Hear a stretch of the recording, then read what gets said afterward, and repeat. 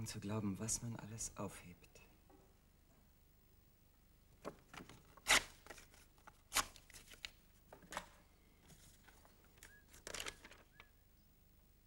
Hier.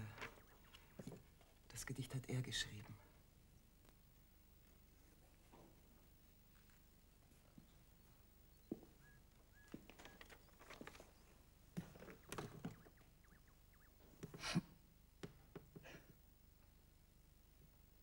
Entschuldigung.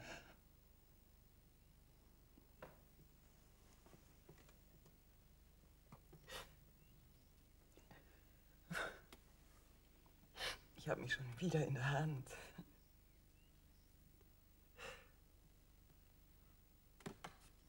Bis zum nächsten Mal. Gut. Der Kaffee ist sicher fertig. Wollen Sie welchen? Danke, gerne. Was ist das denn? Ich habe Ihnen etwas mitgebracht. Sie sollen sich doch nicht in Unkosten stürzen. Nein, nein, keine Widerrede.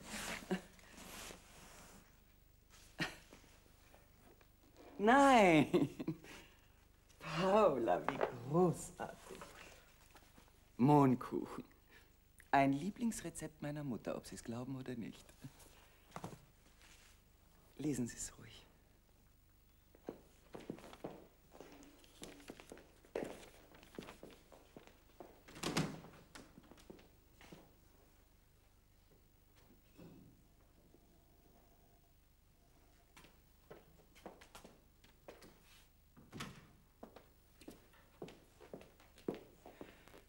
Alles in allem ist mein Zustand recht ausgeglichen. Die Husterei, naja, ich rauche zu viel. Ich schlafe genug, nicht sehr viel. Für den Fall des Falles habe ich die entsprechenden Tropfen, aber bisher ging es ohne. Keine Träume. Das ist untypisch für mich. Normalerweise bin ich eine aktive und lebhafte Träumerin. Aber zurzeit heißt es jede Nacht keine Vorstellung. Das ist sehr unangenehm. Milch? Nein, vielen Dank. Oh, dann hole ich eine neue Tasse. Nein, nein, ja? lassen Sie nur. Wirklich nicht? Ja, danke. Bitte sehr. Immer dieses Gefühl der Taubheit. Da drinnen. Als wäre ein lebenswichtiges Organ entfernt worden. Die Tränen bringen keine Erleichterung. Das Einzige, was sie bewirken, ist, dass sie mir auf die Nerven gehen. Und hinterher fühle ich mich keinen Deut anders als vorher. Abwesend, verschlossen und tot. Mögen Sie etwas Kuchen? Ja, gerne. Gut. Ja, die Arbeit geht weiter. Ich lese, ich schreibe. Ich lade ab und zu alte Freunde ein. Ich sehe meine Patienten. Ja, ich versuche, die Übersicht zu behalten. Wie Sie sehen, ich bin heute ganz allein. Meine Zugefrau, Mrs. Pountney, oh danke, hat in Southend ein Familiendrama. Sagt sie wenigstens.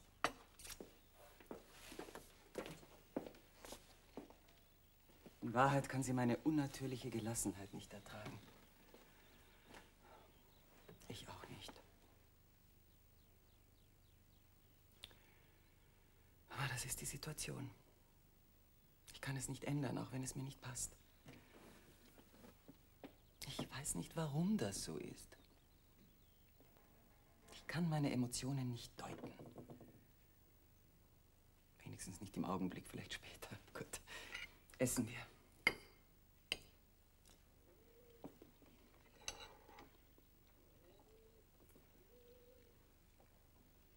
Warum bleiben die Träume weg?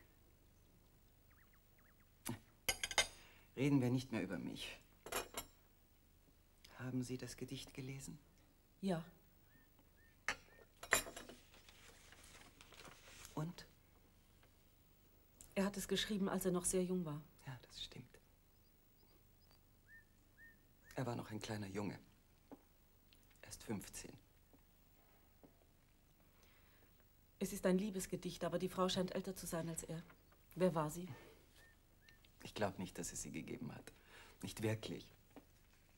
Und für meinen Sohn gab es sie natürlich als lebende, atmende, tröstliche Gegenwart. Sie war die Mutter schlechthin. Sie stand für mich.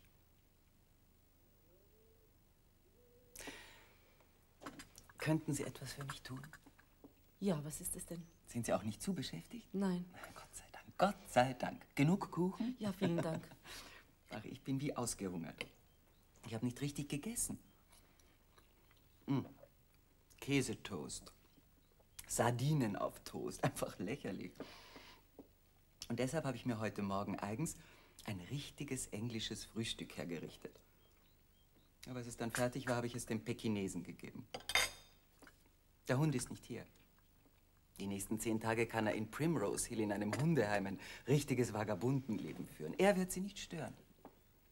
Nanky Poo ist sein Name. Ein Operettenname. Kennen Sie Gilbert and Sullivan? Sie sagten, er würde mich nicht stören. Ganz genau. Ich erkläre es Ihnen.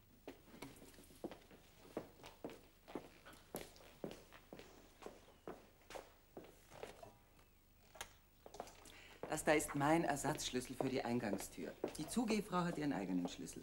Die Schlüssel für die Zimmer oben, also mein Sprechzimmer, mein Schlafzimmer, die sind woanders. Die Zugehfrau kann es Ihnen sagen. Aber fragen Sie sie nur im Notfall. Was war noch? Ich habe eine Liste angelegt, wie unter Zwang. Was merkwürdig ist, denn ich habe eigentlich ein gutes Gedächtnis. Heute Morgen bin ich um 4 Uhr aufgewacht und habe mich gefragt, warum lege ich Listen an? Hat das möglicherweise einen paranoischen Hintergrund? Aber ich konnte um diese Uhrzeit nicht weiter darüber nachdenken. Die Milch ist abbestellt, die Times ist abbestellt, Daily Mail ebenfalls. Oh ja, über der Zentralheizung, da hängt ein Zettel, auf dem alles Erforderliche erklärt ist.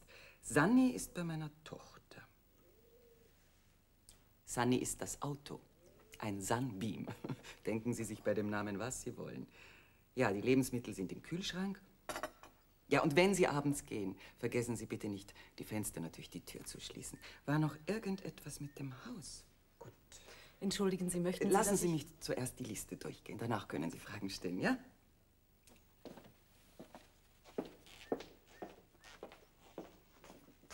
Hier die Briefe. Hier die Zeitschriften und Nachrichten bitte auf diesem Block. Ah ja, könnten Sie die bitte für mich aufgeben? Geld. Hier etwas Geld für eventuelle Ausgaben und Ihre Fahrtkosten, sonst müsste ich ein schlechtes Gewissen haben. Ich möchte nicht, dass Sie sich in irgendeiner Weise ausgenutzt fühlen müssen. Sie müssen nicht knausern. Da, fünf Schilling. Gut, das hätten wir. Was fange ich damit nur an? Er kam heute Morgen. Ich musste den Empfang bestätigen. Er ist von Frau Dr. Schmiedeberg. Er gefällt mir nicht. Der Umschlag gefällt mir auch nicht. Er sieht aus, als steckte er voller Feindseligkeit. So sind die Gegner in unserem Beruf. Ja, sie sind Vampire. Sie sind abhängig, sie wollen geliebt werden und deshalb lassen sie nicht locker. Soll ich ihn lesen? Soll ich ihn nicht lesen? Soll ich ihn verbrennen? Kann ich so tun, als wäre die Post schuld, wenn ich ihn verbrenne? Hm? Ich werde. Nein, ich kann das jetzt nicht entscheiden. Dass man mir gerade jetzt so zusetzen muss.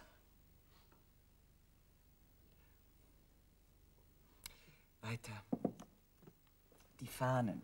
Druckfahnen. Sie kennen sich aus? Ja, wenn Sie mir erklären, Sehr was ich gut, tun ich soll, kann ich... Ihnen. Sie kennen das Buch? Ja, selbstverständlich habe ich es Ja, gelesen. natürlich. Das wird die zweite deutschsprachige Ausgabe. Das ist die erste deutsche Ausgabe. Sehen Sie, Druckfehler habe ich eingeringelt. Sie müssen beides vergleichen. Und Stellen, die ich verändern will, wie hier, das habe ich mit dem Bleistift markiert. Da sind die Änderungen. Schauen Sie, das Zeichen hier heißt einfügen, das da heißt streichen und so weiter. Sie verstehen? Einige Änderungen, aber nicht alle, finden Sie in der zweiten englischen Ausgabe, das Buch hier. Englisch-Deutsch, Deutsch-Englisch.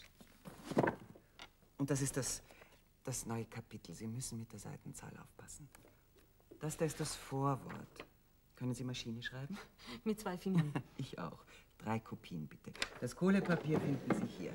Haben Sie sich alles merken können? Ja. Wirklich? Ja, ich denke. Gut. Und wann ist der Abgabetermin? Der Abgabetermin spielt keine Rolle, er ist längst überzogen. Ich möchte, dass Sie alles bis spätestens Mittwoch mit der ersten Post nach Wien aufgeben. Gut, dann zeige ich Ihnen am Dienstag, was ich gemacht Am Dienstag bin ich nicht hier. habe. Sie sind nicht Ich hier? muss zu einer Beerdigung. Oh. Ich verstehe, es tut mir leid. Und wann werden Sie wieder Ich zurück werde am Wochenende drauf zurückkommen. Ja, aber dann können Sie es vorher nicht ansehen. Zweifellos nicht. Und wenn ich irgendetwas falsch mache? Dann wird es falsch gedruckt und ich bin blamiert. Aber damit rechne ich nicht, Warum nicht? weil ich Vertrauen zu Ihnen habe. Wir kennen uns kaum. Ich habe Sie im Institut gesehen. Sie haben einen ausgezeichneten Ruf. Tun Sie das für mich? Ja, gerne. Braves Mädchen. Oh, ich habe gar nicht gefragt, ob Sie ein Glas Sherry mögen. Nein, Nein? Zu früh. hm? Für mich auch. Bitte.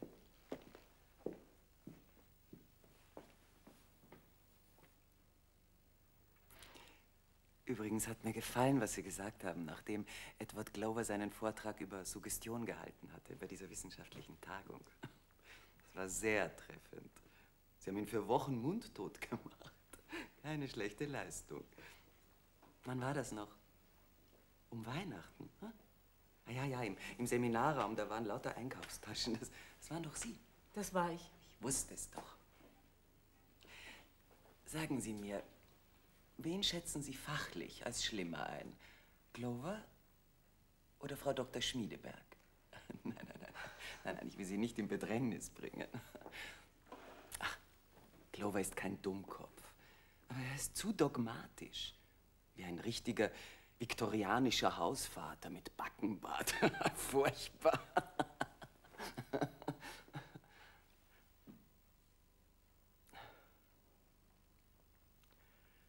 Frau Dr. Schmiedeberg braucht Hilfe.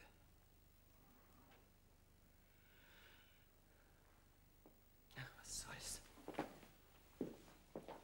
Wir haben uns tatsächlich nie kennengelernt. Ich hätte gedacht, doch. Man hat uns miteinander bekannt gemacht, aber wir haben uns. Wir haben uns nie in Ruhe unterhalten. Ich finde es sehr angenehm.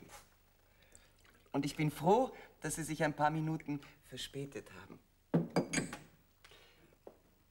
Ich hatte gerade einen Patienten bei mir. Letzte Woche ist er neun geworden. Nicht mein jüngster Patient, wie Sie sehen, aber mein anspruchsvollster. Er wollte heute nicht im Sprechzimmer bleiben. Er, er fühlte sich dort eingesperrt. Er hat eine Aversion gegen das Zimmer. Deshalb sind wir hier unten gewesen. Da. Das ist seine Eisenbahn. Er nennt sie Papazug. Er hat gespielt, ich habe gespielt. Wenn Sie pünktlich gewesen wären, hätte ich Sie nicht hereingelassen. Meine Patienten dürfen nicht gestört werden. Alles andere muss warten. Gewiss denken Sie ganz genauso. Das ist ein Manzanilla, auf den ich ziemlich stolz bin.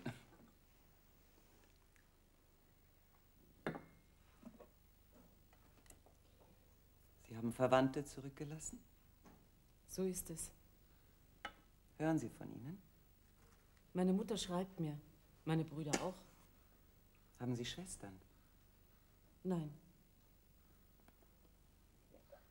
Das war nicht nur ein Nein. ich habe eine ältere Schwester. Wie viel älter ist sie? Sie starb vor meiner Geburt. Sie sind also sehr wichtig für Ihre Mutter, Ja, um sie zu trösten, so denken Sie. ja, Und Sie sind verheiratet? ja.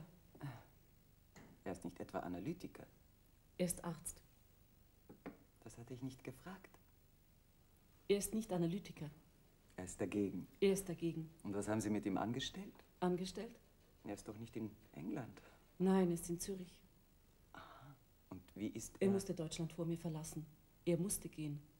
Ich blieb noch, weil auf mich weniger Repressalien ausgeübt wurden. Ich denke, man hätte Sie verhaftet. Es war nichts Ernstes. Ein kleines Missverständnis. Sie haben das Haus durchsucht, ein paar Bücher mitgenommen und die Anklage fallen lassen. Sie haben Angst bekommen. Ja, Sie sind Jüdin. Ja. Aber für ihn war es schlimmer für meinen Mann. Er war politisch stärker engagiert als ich. Wenn Sie sagen, Ihr Mann sei politisch engagiert gewesen, heißt das, dass er es jetzt nicht mehr ist oder dass er nicht mehr Ihr Ehemann ist? Wir sind geschieden. Und wie ist das für Sie? Einsam.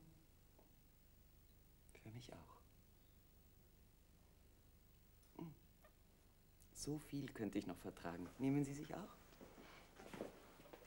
Mein Sohn war politisch sehr interessiert, als er jünger war. Seine Freunde ebenfalls. Wie in allen intellektuellen Familien. Ich selbst habe mich nie für Politik interessiert. Grund genug dafür hätte ich gehabt. Man hat mich auf der Straße angespuckt, meine Kinder ebenfalls. Und jetzt höre ich jede Woche von Freunden zu Hause, dass, die Fenster eingeschlagen werden, Judensterne an der Tür, die Papiere durchwühlt. Das Hausmädchen bekommt einen Nervenzusammenbruch, die Kinder sind in Tränen aufgelöst. Besten Dank. Ich weiß Bescheid. Und das wird nicht besser werden. Ich kann es nicht ändern. Sie können es nicht ändern. Denken Sie, Ihr Ehemann könnte es? In den schrecklichen Zeiten, in denen wir leben. Ich fühle mich auch nicht gedrängt, es zu versuchen. Passt nicht zu mir. Ich habe gehört, Sie hätten eine Tochter. Entschuldigung. Ihre Tochter. Entschuldigung, ich hatte es nicht verstanden. Ja, ich habe eine Tochter. Sie ist neun. Sie ist in Berlin bei katholischen Freunden. Holen Sie sie bald nach? Ja, bald. Allerdings. Worin besteht das Problem? Ich brauche erst eine anständige Wohnung. Wo wohnen Sie jetzt? In Bethnal Green. Da war ich noch nie. Wie ist es dort? Es ist grauenhaft. Ein richtiger Slum. Also und dort praktizieren Sie? Ja, ich versuche es. Ist sicher nicht leicht. Nein, die Patienten können entweder nicht bezahlen oder sie bleiben weg. Ja, Sie fangen ja erst an. Ich bin 34. Ich habe nicht einmal einen Mantel. Ich habe solche Lebensumstände noch nie kennengelernt. Sie sind wütend. Ja, Sie sollten einen neuen Antrag stellen, dass man Ihr Visum ändert. das habe ich getan. Versuchen Sie es noch einmal. Ich werde mich für Sie verwenden. Nein, Sie müssen mir nicht danken. Ich tue wenig genug für Sie. Holen Sie mir bitte das Kästchen. Ich habe das Gefühl, Hans würde wollen, dass Sie sein Gedicht bekommen. Oh nein, das kann ich nicht annehmen. Keine Widerrede. Es ist von ihm. Danke.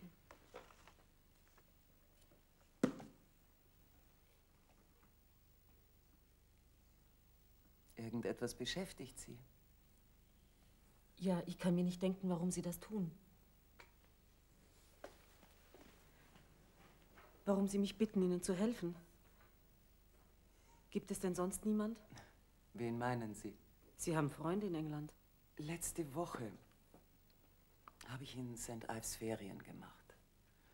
Und eine sehr gute englische Freundin war mitgekommen, Joan Rivière. Ich schätze sie.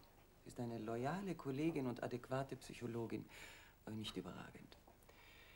Wir blieben eine Woche dort, fuhren mit dem Wagen zurück und machten in Salisbury Halt. Eine Familienpension, ohne Heizung. Hunde waren nicht erwünscht.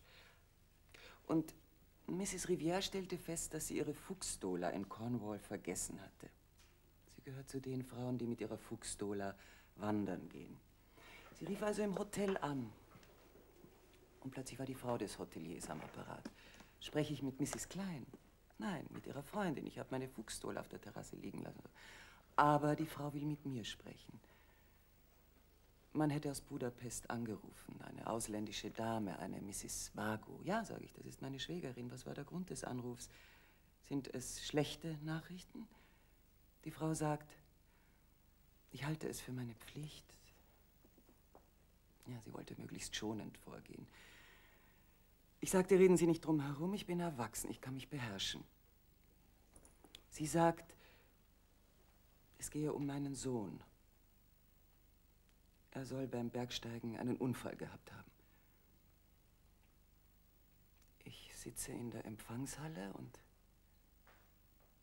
schaue auf einen grünen Flanellrahmen voller Postkarten. Stonehenge. Ich schaute das an und dachte, was bedeutet? Die Frau redete weiter. Sind Sie noch da? Sie dachte, ich wäre ohnmächtig geworden. Ich sagte, sagen Sie mir nur, war der Unfall, den mein Sohn gehabt hat, ein tödlicher Unfall? Sie antwortet, es tut mir leid, Mrs. Klein, Sie werden es vielleicht nicht glauben, aber ich kann mich nicht erinnern. Ich sagte, machen Sie sich keine Gedanken, ich glaube Ihnen, aber ich kann Ihnen das jetzt nicht erklären. Sagen Sie mir nur eines, haben Sie es irgendwo notiert? Sie sagt, ich gehe es suchen. Ich wartete in verständlicher Ungewissheit. Ich hörte sie mit Papieren rascheln und Schubladen aufreißen. Und da fiel es mir ein.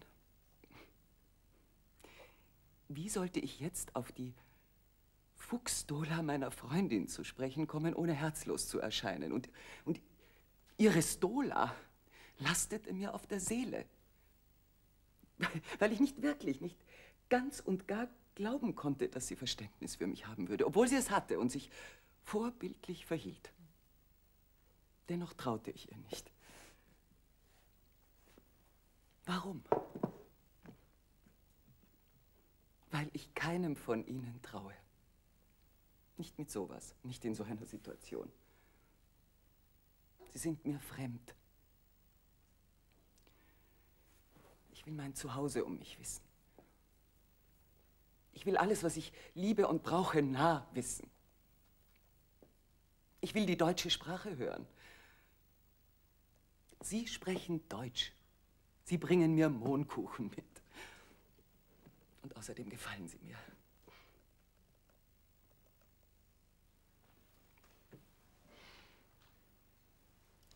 Stellen Sie es wieder unter die Treppe, ja? Und holen Sie mir meinen Mantel und meinen Hut. Und den Regenschirm. Und das Gepäck. Nein, das heißt, nein, lassen Sie es dort stehen. Aber zählen Sie nach, ob es wirklich zwei Koffer und eine Hutschachtel sind. Fahren Sie jetzt? Ja, das Taxi müsste... Und schauen Sie nach, ob die Handschuhe in den Taschen stecken.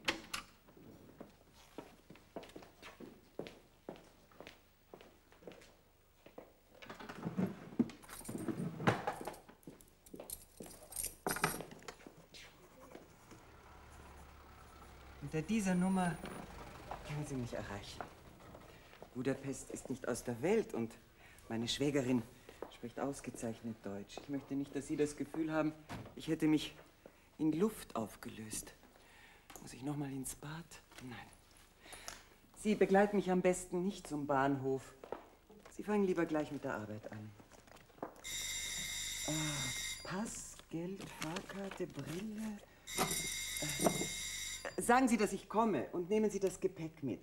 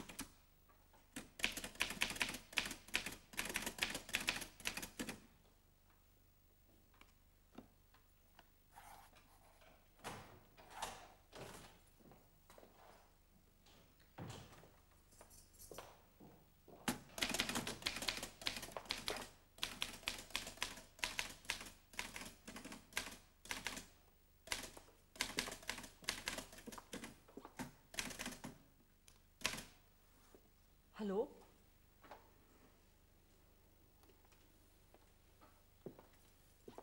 Was machst du denn hier? Ich lese Fahnen. Warum? Sie hat mich darum gebeten. Wann? Heute Nachmittag. Sie war heute Nachmittag doch gar nicht hier. Ich habe mit ihr gesprochen. Hier? Ja, hier. Du lieber Himmel. Was ist? Nichts ist schon gut. Möchtest du etwas Kaffee? Nein, ich brauche was zu trinken, du nicht? Ich habe keinen Durst. Habe ich nie dafür gebraucht. Abgesperrt. Lass mich es mal versuchen. Merkwürdig tatsächlich. Der Schrank ist abgesperrt, das tut mir leid. Du kannst nichts dafür, meine Liebe. Lass dich von mir nicht stören. Danke, ich wollte nicht unhöflich sein. Aber ich soll bis Mittwoch fertig werden und allein für das Vorwort habe ich vier Stunden gebraucht. Bist du nicht halb erfroren? Nein, Warum machst du die Heizung nicht an? ich habe es versucht, sie ist nicht angesprungen.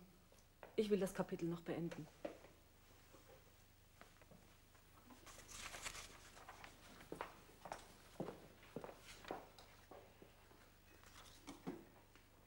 Ich komme darin vor. Ich weiß, ich habe soeben die Anmerkung bearbeitet. Und das ist kein Aschenbecher. Nein? Nein, es gehört zum Kaffeeservice. Hier. Bist du aus einem bestimmten Grund gekommen? Nein, ich fuhr zufällig vorbei und sah das Licht. Da hat jemand ein Buch falsch eingeordnet. Ich war es nicht. Du bist dir also ganz sicher, dass du sie heute Nachmittag hier gesehen hast. Ja, Ich frage das, weil sie schon am Dienstag hätte abfahren müssen. nein, sie fuhr wie vorgesehen, das weiß ich, denn als Walter mich anrief. Walter hat dich angerufen? Ja, er sagte, ich solle. Warum? Dass ich deine Mutter anrufen soll. Sie hatte meinen Brief bekommen und wollte, dass ich. Deinen Brief. Ja, ich habe ihr geschrieben. Alle Welt schreibt ihr, folglich nahm ich an, es würde dir nichts ausmachen. Warum sollte es mir was ausmachen? Ich wollte sagen, es würde ihr nichts ausmachen. Der Ablauf war also, du hast meiner Mutter einen Brief geschrieben und meine Mutter hat meinen Mann ausrichten lassen, dass sie dich sehen möchte. So war das. So war das. Und? Sie bat mich, diese Fahnen zu Dich korrigieren. meine ich nicht. Deine Mutter. Ja, meine Mutter. Wie wirkte sie auf dich? Sie träumt nicht mehr. Ich weiß nicht, ob sie es dir erzählt hat. Hin und wieder muss sie weinen, aber die Tränen bringen keine Erleichterung. Sie kann den Verlust noch nicht akzeptieren. Erzähl weiter. Sie versucht, das verlorene Liebesobjekt zu reinstallieren, indem sie Briefe deines Bruders an einen sicheren Ort verwahrt. Andere Papiere hingegen zerreißt, da sie ihr möglicherweise als feindselig erscheinen. Phasen des Hochgefühls wechseln mit Phasen tiefer Depression. Sie trauert. Hat sie mich erwähnt? Ja, sie sagte, du hättest den Wagen. Und was noch? Das weiß ich nicht mehr. Du lügst. Mag sein, aber ich kann jetzt nicht drüber diskutieren, nicht mitten in der Nacht. Du bist mir nicht böse.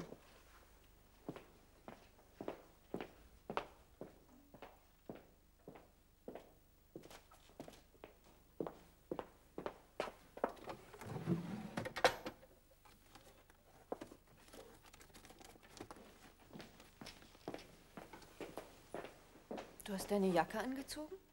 Ja, es ist schon spät und ich will die U-Bahn nicht verpassen. Ich fahre dich nach Hause. Wozu? Willst du es etwa nicht? Doch, ich wäre dir sehr dankbar. Ich hasse die U-Bahn, die ganzen Betrunkenen und Irren. Aber es verhält sich nun einmal so, dass aus Gründen, auf die ich keinen Einfluss nehmen kann, am anderen Ende der Stadt wohne. Und ich habe einen Wagen. Ich bezahle das Benzin. Unsinn, du hast kein Geld. Gut, fahren wir. Bleiben wir noch einen Moment. Ja, aber nicht mehr lange. Ich bin todmüde. Ich muss jedes einzelne Wort vergleichen. Druckfehler, zusätzliche Anmerkungen, das Vorwort, ein neues Kapitel. Alles in allem gar nicht zu wenig, aber nichts Wesentliches. Bist du jetzt ihre Sekretärin geworden? Nein, Kümmerst du dich auch um die Briefe? nein, ich muss sie nicht sortieren. Und wo tust du sie hin? Dorthin, in die Ablage. Der Aktenschrank ist abgeschlossen. Zu dumm. Sie hat mich nämlich gebeten, einige Unterlagen zu holen, aber ich weiß nicht, wo die Schlüssel sind. Ich weiß es auch nicht. Irgendjemand muss es aber wissen. Die Zugefrau weiß es. Deine Mutter hat mit ihr abgesprochen, wo die Schlüssel liegen. Irgendwo im Haus. Ich weiß aber nicht wo. Es geht mich auch nichts an. Fast alles im Haus ist abgesperrt.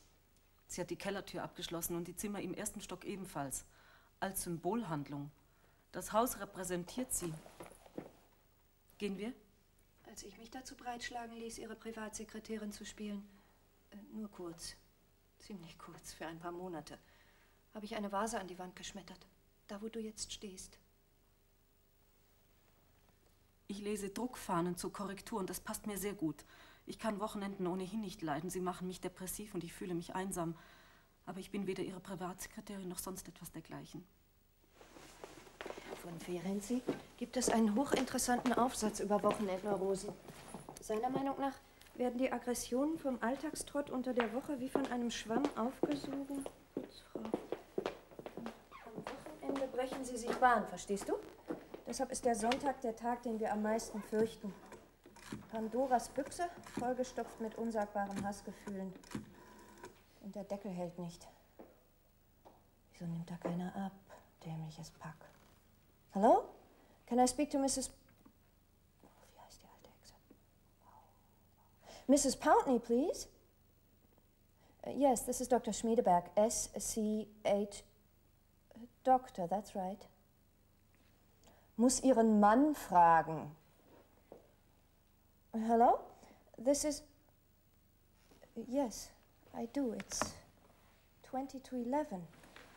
Oh, I'm sorry, I dropped the phone. Melita, Um, yes, she knows me. She very kindly cleans my mother's house for her. Tell her I'm there and everything's locked up and ask her where the keys are. Melita, Was ist? sie ist weggefahren. One moment, please. Mrs. Pountney? Weißt du wohin? Nein, nach South. South irgendwas. Southport? South Sea? Es war etwas Anales. South End. Ja, ich glaube. Thank you, I've just found out. Good night.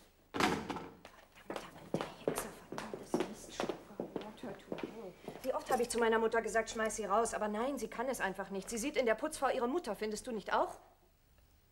Ja, Melita, der Gedanke kam mir, aber können wir jetzt fahren? Hat sie meinen Brief bekommen? Ja, Hat sie noch gelesen? nicht während ich hier war. Sie sagte, sie hätte den Empfang bestätigen müssen. Nein, ich will offen sein. Sie empfand den Brief als Angriff. Sie fühlt sich augenblicklich bedroht und verfolgt, denn sonst hätte sie wissen müssen, dass du ihr in einer solchen Situation nicht wehtun willst. Aber genau davor fürchtet sie sich. Und deshalb verhielt sie sich dem Brief und dir gegenüber feindselig. Nicht dir als Tochter gegenüber, sondern Frau Dr. Schmiedeberg gegenüber. Sie hat dich den ganzen Abend nur als Frau Dr. Schmiedeberg erwähnt. Die Tochter ist gut und wird geliebt, aber Frau Dr. Schmiedeberg ist böse, du weißt schon, wie in der Fachliteratur. Das wird sich bald geben. Sie wird deinen Brief lesen und wahrscheinlich hat sie ihn sogar mitgenommen. Du lieber Himmel, Was ist los? mir wird übel. Soll ich ein Glas Wasser holen? Nein, Versuch den Kopf zwischen die Knie zu halten. ich brauche was zu trinken. Moment.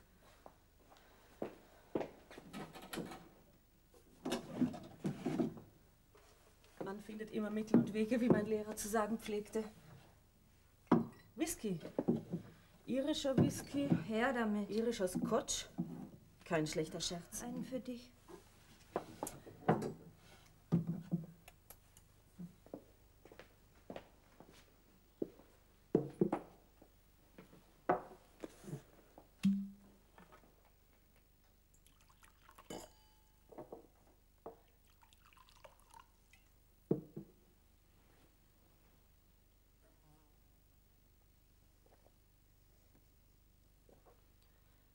Den letzten Whisky, den ich in einem Lokal in Bethnal Green bestellt habe, den habe ich gar nicht getrunken, weil es dort so laut und ekelhaft zuging. Hier ist es anders. Hier ist es fast wie zu Hause. Kennst du diese Träume? Wo etwas ganz Wichtiges versteckt worden ist an einem vertrauten Ort und du suchst und suchst, aber Türklinken bleiben dir in der Hand kleben oder leere Räume sind plötzlich voller Menschen. Oder die Fahrkarte ist aus deiner Handtasche verschwunden oder der Bahnsteig hat sich in Luft aufgelöst. Und du kannst dir das, was du tust, nicht eingestehen, weil du dich schämst. Kennst du das? Nicht in dieser Form, aber ja. Also geht's nicht nur mir so. Nein, das sind Angstträume, die kennt jeder. Ich habe ständig das Gefühl, in einem drin zu sein. Ich träume oft, ich hätte ein Kind getötet. Ich habe es meiner Analytikerin erzählt. Sie hat den Traum daraufhin als Reaktion auf ihren Osterurlaub gedeutet, weil ich mich von ihr im Stich gelassen gefühlt haben soll. Ich sagte, dass ich das stark bezweifle, da ich diesen Traum seit 30 Jahren kenne. Daraufhin sagte sie, aha, und mein Sprechzimmer ist in einem Haus mit der Nummer 30. Sind wir auch so? Ich hoffe es nicht. Und deine? Ich war nicht mit ihr zufrieden und habe ihr gekündigt. Woran lag es? Ich hielt sie für meine Mutter. Und darüber sind wir nicht hinausgekommen. Dauernd musste ich denken, alte Ziege oder liebt sie mich? Deshalb kam sie zu der Ansicht, der ich mich anschloss, dass ich mich nicht von der Übertragung befreien konnte. Ich bin geradezu übertragungssüchtig, geht mir mit jedem so, kann mich nicht dagegen wehren. Zahnarzt, Fensterputzer, Nankipu. und so mühten wir uns ab, Jahre und Jahre, und nichts änderte sich. Bis auf den Umstand, dass ich nach und nach merkte, dass sie tatsächlich meine Mutter war. Meine Mutter hat mich mit ihr zusammengebracht. Sie liest die Schriften meiner Mutter, kann sie auswendig aufsagen und trifft sich einmal im Monat mit ihr zum Tee. Und das Paula konnte ich einfach nicht länger ertragen.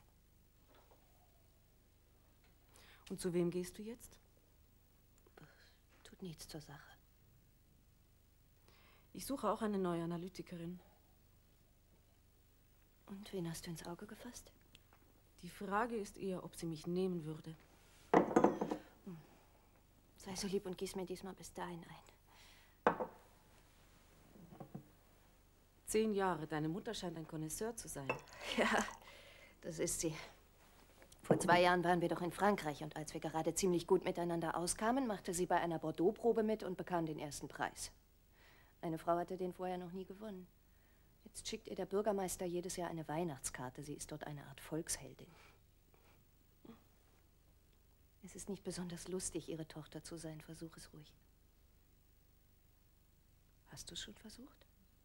Was willst du damit sagen? Du hast dich verändert. Inwiefern? Du kommst mir vor wie eine Amöbe, die sich unauffällig einschleicht und festsetzt.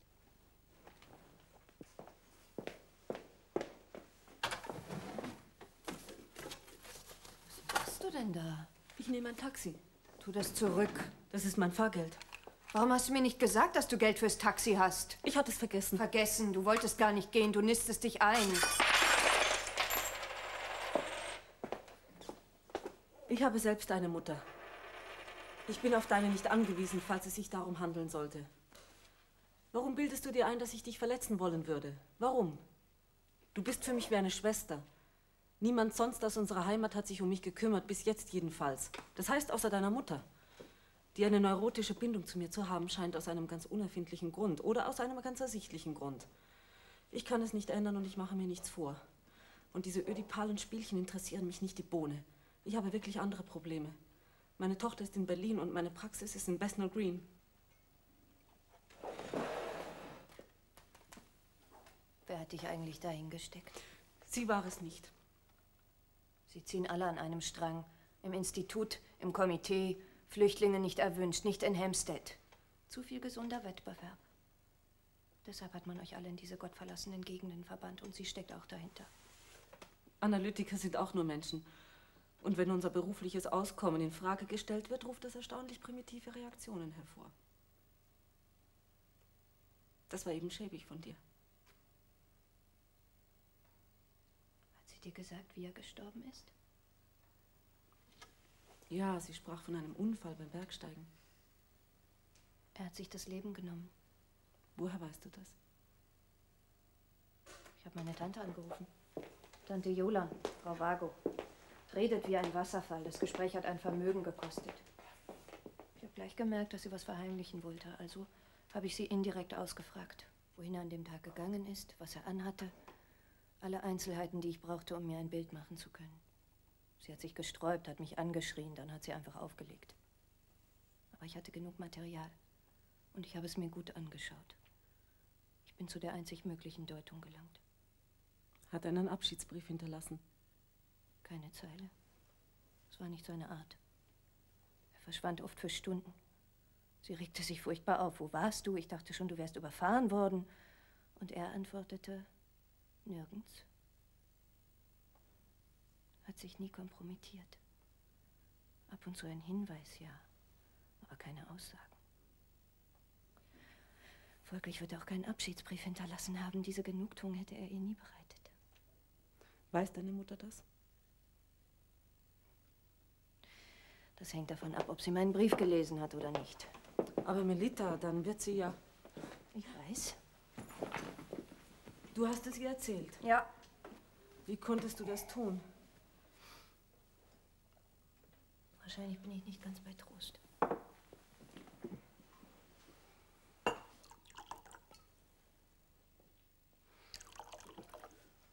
Als du den Brief sahst, wo lag er da genau? Da drüben, aber da liegt er jetzt nicht mehr. Ich weiß, ich habe nachgeschaut. Ich bin völlig ausgehungert. Ich auch. War der Brief sehr. Sehr ausführlich. Sehr überzeugend. Auf sehr eindringliche Weise sadistisch. Oh Gott.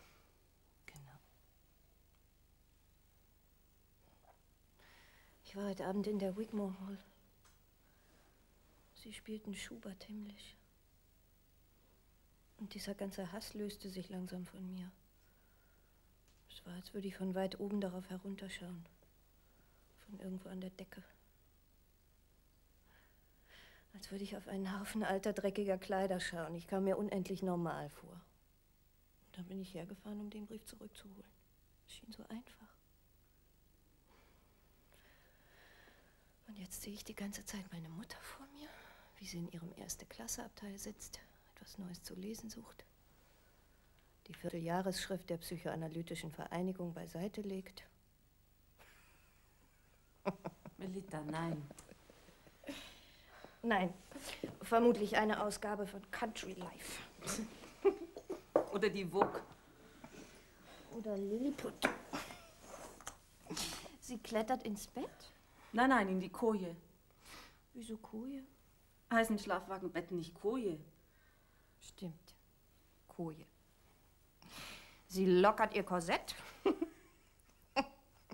Dann klettert sie die Leiter hoch.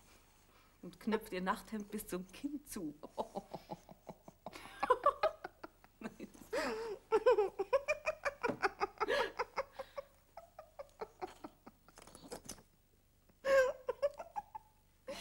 Und dann liest sie. Du Schwein, du Mörderin. Nein, nein. Viel schlimmer. Du Biest, du hast ihn auf dem Gewissen. Ach, wahrscheinlich glaubt sie es gar nicht. Sie ist doch nicht dumm. Nein. Es wird sie umbringen. Ja, das wird es wahrscheinlich. Es sei denn, sie hat ihn hier gelassen. Er könnte in diesem Zimmer sein. Du sagtest vorhin, ein Buch sei falsch eingeordnet. Welches war das? Die Traumdeutung.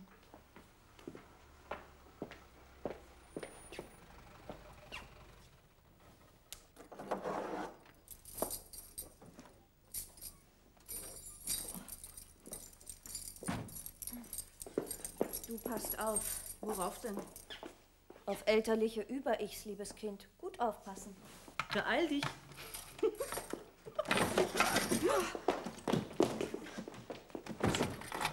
Melita? Mutter? Paula, Sie sind doch ein kräftiges Mädchen. Könnten Sie bitte dem Taxifahrer helfen? Gut. Ich bin wieder da. Was ist passiert? Freust du dich nicht, mich zu sehen? Komm, gib deiner Mutter einen Kuss. Schau in deiner Handtasche nach. Ich habe kein Kleingeld, nur Reichsmark und Traveler-Schecks. Wie schön, dass du da bist, mein Liebes. Bleib doch über Nacht. Dein Zimmer ist unverändert. Ein paar neue Bücher sind da, ein paar Kartons, ein halber Billardtisch. Faktisch ist es eine halbe Rumpelkammer. Bleib doch.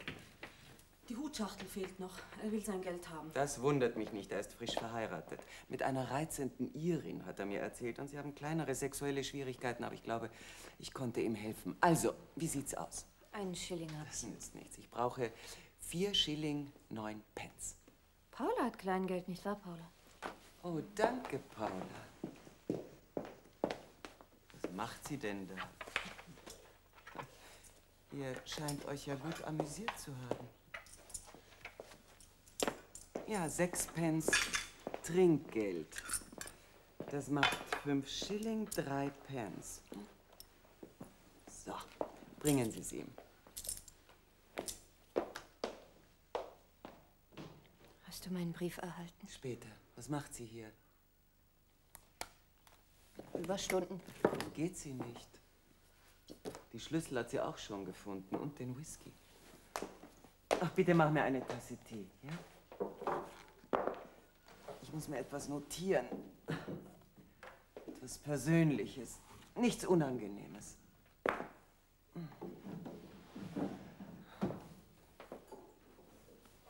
Ja, und mach die Heizung an.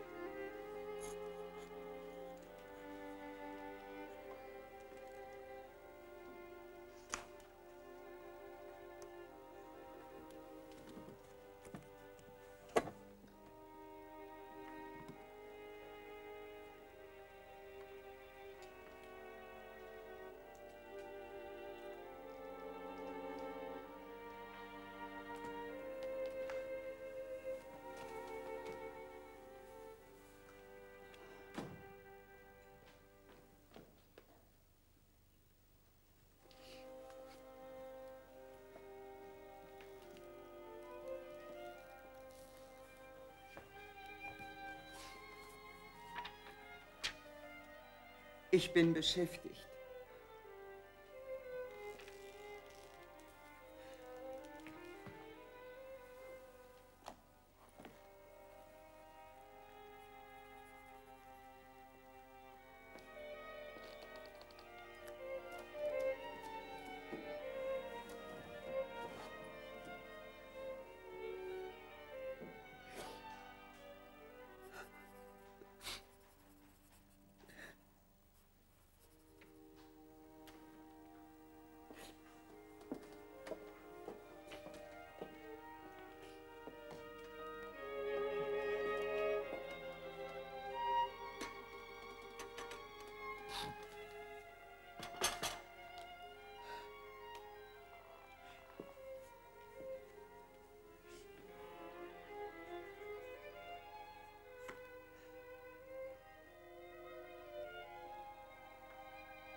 Paula sitzt im Flur. Sehr gut. Sie ist wenigstens still. Sei bitte nett zu ihr.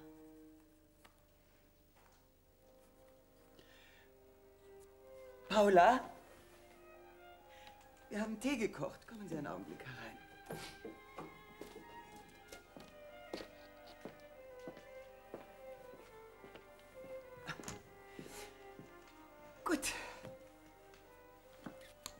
Rein soll jetzt die anderen bemuttern. Das ist dein Geschäft. Mach du es. Paula darf ja ihre U-Bahn nicht verpassen. Die hat sie schon vor Stunden verpasst. Wie kommt sie nach Haus? Ich fahre sie. Unmöglich, du bist sternhagelvoll. Bin ich nicht. Schätzchen, ich hab doch nur Spaß gemacht. Komm, schenk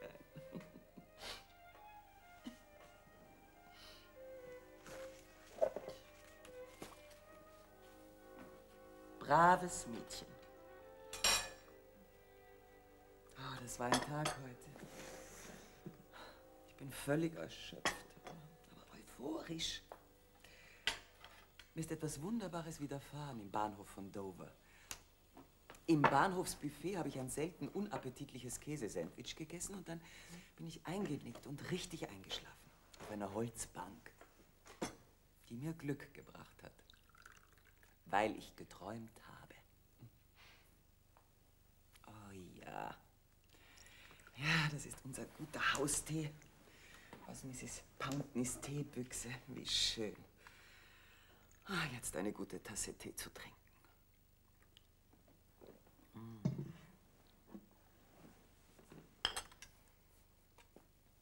Im Traum sah ich eine Mutter und ihren Sohn. Der Sohn lag im Sterben oder war tot. Die Mutter trug ein schwarzes Kleid mit weißem Kragen. Aber der Anblick machte mich nicht traurig, sondern ich fühlte eine leise Feindseligkeit.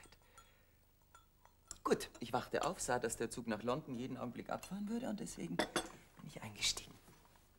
Und was war mit der Fähre? Die Fähre war weg. Du hast sie verpasst. Ich hatte mich dazu entschlossen, sie nicht zu nehmen. Sie haben sich dagegen gesperrt. Paula, schauen Sie mal im Kühlschrank nach. Da muss noch eine gute Salami sein.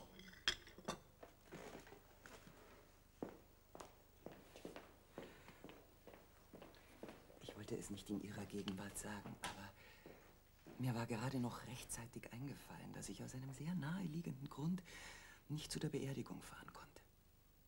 Warum? Ich wäre dort vielleicht deinem Vater begegnet. Ja, und? Und er hätte mir vielleicht einen Antrag gemacht. Eher nicht. Er nicht. Außerdem ist er verheiratet. Oh, nicht, dass ihm das so... Na gut, du hast recht. Es steckt mehr dahinter. Unüberwindlicher Widerstand. Sei so gut, erzähl ihr das nicht. Wann geht sie denn? Wenn ich gehe? Paula, Sie übernachten hier. Wo kann sie schlafen? Auf dem Sofa. Auf dem Sofa. Gut. Und diese Mutter? Diese Mutter. Mutter und Sohn. Ein sterbender Sohn. Oder tot? Wer hat gesagt, er ist tot? Schau in deinen Notizen nach. Schon gut, ich glaub dir. Aber es war nicht Hans. Weil diese Mutter nicht ich war, weil ich gegen sie Feindseligkeit empfand. Und deswegen. Und das Kleid? Äh, äh, langsam, holen Sie die, die Salami. Das Kleid. Ja, das Kleid. Ein schwarzes Kleid mit weißem Kragen, wie ich es anhabe. Gut. Eine Nachricht aus meinem Unbewussten, das weiß, dass ich diesen Verlust erlitten habe. Meine unbewusste Verweigerung nimmt also ab. Aber nur langsam. Eine mühsame Geschichte. Ah ja, Paula. Sie haben sie gefunden, danke. Als ich klein war, machten wir im Sommer oft Picknicks. Die ganze Familie. Und mein Vater setzte sich dann auf einen Baumstumpf und sagte, Mehlchen, mein Schätzchen, hier hast du eine schöne, dünne Scheibe Salami. Und dann schnitt er die Scheibe ab und dann gab er sie mir. Und dann sagte er zu meiner älteren Schwester, und jetzt eine schöne, dicke Scheibe Salami für meine Lieblingstochter. Und dieser Mann war gebildet, Melita. Er hatte als junger Mann, als Bucher, so hieß das, den Talmud studiert. Er sprach Deutsch, Englisch, Slowakisch und Französisch, das er von einem alten Veteranen gelernt hatte, der bei der Schlacht von Waterloo dabei gewesen war. Und dennoch war er so gedankenlos und schürte diesen Neid in mir. Könnte ich? Ein Bad nehmen, aber selbstverständlich. Das Wasser ist sicher noch nicht heiß. Richtig? Kühl zu baden ist sowieso gesünder, Melita. Lass das Wasser einlaufen. Ich würde Sie lieber... wollen es selbst einlassen, aber gern. Würde es Ihnen etwas ausmachen? Gehen Sie ruhig baden.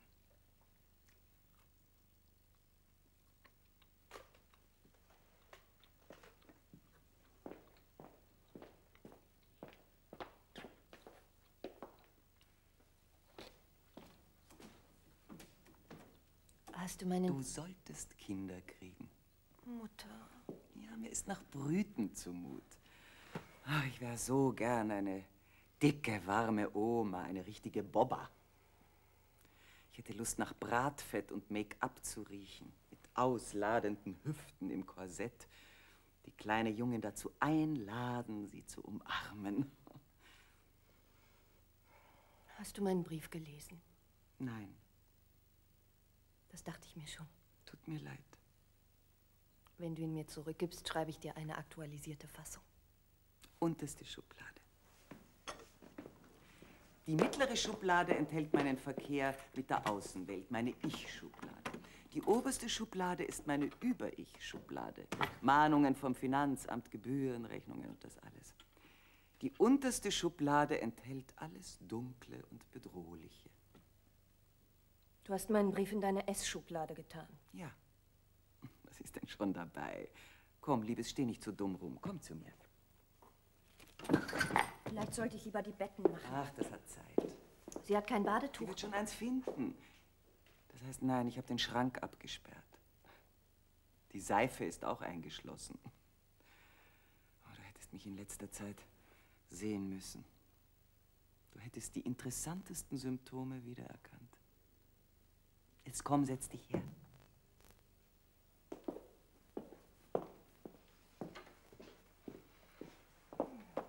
Ja, so ist es besser. Im Kühlschrank ist noch ein guter Gewürztraminer. Den holst du uns nachher, ja? Ein gehaltvoller Wein, harmoniert mit der Salami. In Ordnung. Was steht in dem Brief? Paula hat mir gesagt, du hättest dich dem Brief gegenüber feindselig verhalten. Ich dachte, du hättest darin meinen Aufsatz über Kriminalität angegriffen. Absurd. Aber ich sah die Anschrift und... Zeig mal her. Ja, genau das ist es. Ja, die Art und Weise, wie du das Wort Mrs. unterstrichen hast. Mrs. Klein. Als wärst du die hochgelehrte Wissenschaftlerin und ich nur ein naseweiser Laie. Zeig mal her. Das ist nur ein Fleck. Und wer war das? Vermutlich der Postbote. Sieh mal an. Eine Manifestation von Verfolgungswahn. Ich muss den Eindruck gehabt haben, dass sich wieder mal jemand mit seinem dicken Hintern auf mein kleines Licht setzen wollte, um es auszulöschen. Du entschuldigst, aber so fühlt sich das an, wenn es passiert. Aber dir mache ich ja gar keinen Vorwurf. Glover ist an allem schuld. Glover sollte dir wurscht sein. Glover ist mir wurscht. Glover ist ein Würstchen. Glover ist die Wurst. Ich habe gehört, dass Edward Glover seine Osterferien in einer Wolke verbracht hat. Ja, mittendrin. Mit seiner Frau und seiner kleinen zurückgebliebenen Tochter, die er abgöttisch liebt und überall hin mitnimmt. Trotz oder wahrscheinlich wegen ihres Zustands. Gut. Sie fuhren also nach Schottland. In die Berge, ganz oben, zelteten da. Und dann kam der Nebel. Folglich konnten sie das Zelt nicht verlassen. Aber Edward Glover, stur wie er ist, blieb volle zwei Wochen da oben, obwohl Frau und Kind um Gnade flehten. Zu guter Letzt bricht er die Zelte ab und sie wandern bergab. Und nach nicht einmal 400 Metern liegen die Felder im Sonnenschein, die Bächlein plätschern und die Leute haben Badeanzüge an. Es war schönstes Wetter. Nur da oben war dieses Wölkchen gewesen. Und er hatte seine Ferien da drinnen verbracht, weil er ein so unendlich sturer Dogmatiker und Besserwisser ist.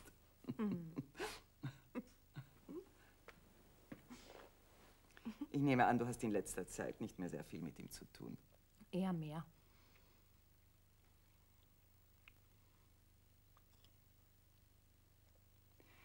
Ich glaube, du wirst meinen Aufsatz über Kriminalität angreifen.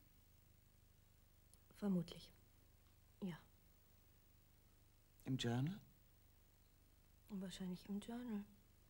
Ja, im Journal.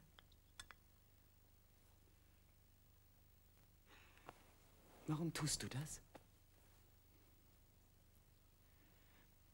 Was ich schreibe, habe ich im Verlauf von 20 Jahren analytischer Arbeit erfahren und erprobt. Und du kennst die Ergebnisse. Ich weiß. Du bist eine großartige Analytikerin. Und trotzdem kannst du nicht von mir verlangen, dass ich den Mund halte, wenn du Unsinn schreibst. Das tue ich auch nicht. Weil ich weiß, dass du diesen sogenannten Unsinn, den du auch schon als Dreck bezeichnet hast, diese giftigen Fäkalien, als gegen dich persönlich gerichtet betrachtest. Das weiß ich, das weiß jeder. Das ist einfach peinlich. Warum, mein Liebes, musst du unbedingt deine wunden Stellen vor aller Welt offenlegen? Meine wunden Stellen? Ja, deine wunden Stellen. In emotionaler Hinsicht. Würde ich zurückschlagen, dann käme allerdings einiges an Dreck zum Vorschein. Ich könnte deiner Karriere den Gar ausmachen. Aber ich würde meiner Tochter sowas nie antun. Oh nein, das besorgen natürlich deine unterwürfigen Kriecher.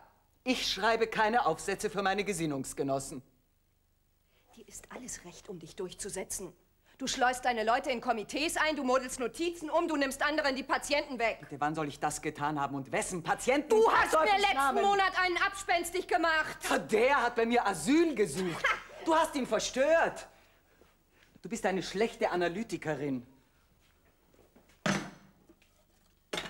Warum? Willst du das wirklich wissen? Gut, ich sag's dir.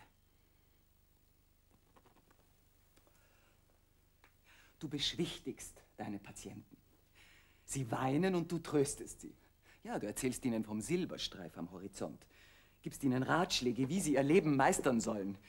Was bitte sollen sie dabei über sich selbst erfahren? Das Einzige, was sie erfahren, ist, dass du nett zu ihnen bist. Obwohl du in Wahrheit alles andere als nett bist. Du bist nämlich verdammt destruktiv.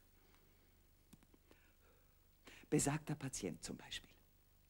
Sein Lebtag hat er wie jedermann, wie du, wie ich, wie alle Welt, seine frühkindlichen Erfahrungen auf die Menschen um sich herum projiziert.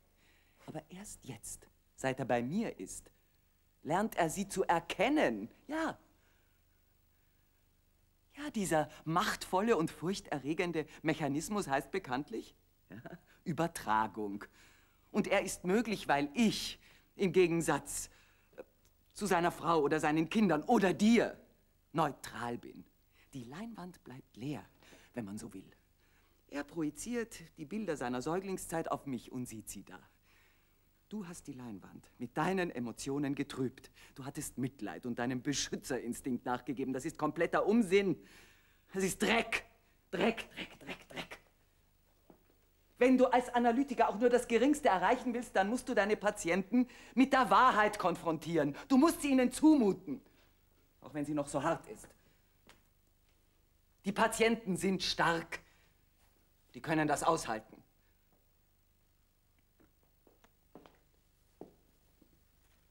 Bitte, was soll das? Das ist die Wahrheit über Hans.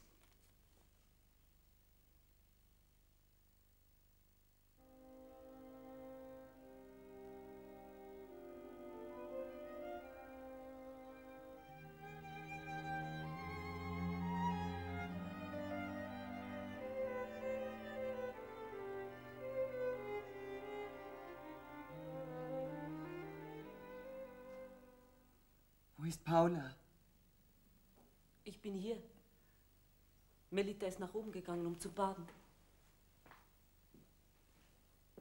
In meinem Leben habe ich zwei schreckliche Depressionen durchgemacht. Die erste, als ich eine unzufriedene Hausfrau war. Die zweite in Berlin. Als mich niemand wirklich zur Kenntnis nehmen wollte. Und jetzt fühle ich, dass mir Nummer drei droht. Förmlich sehen. Ist wie ein dicker schwarzer Balken am Rande meines Gesichtsfeldes.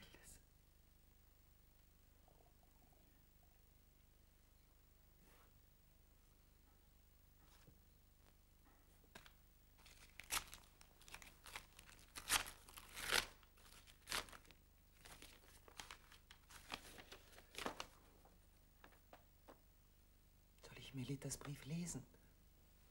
Lieber nicht jetzt. Sehr richtig.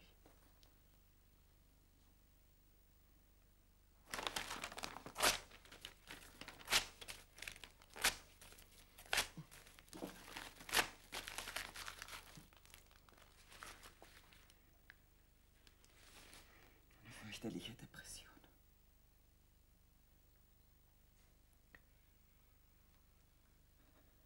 Gut.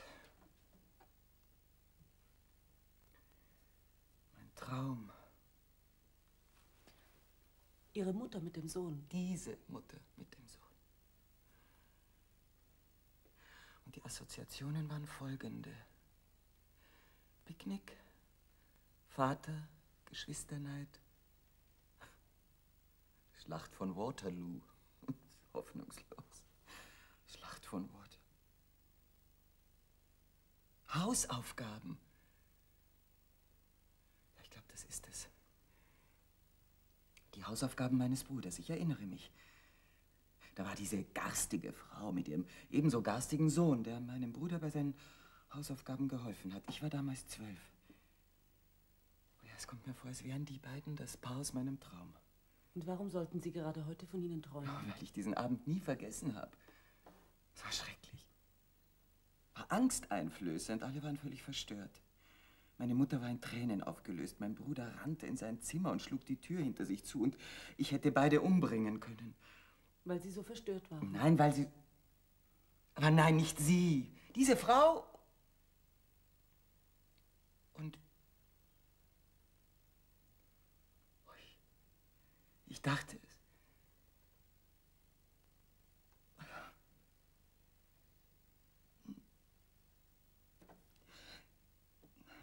Jetzt fühle ich mich schrecklich.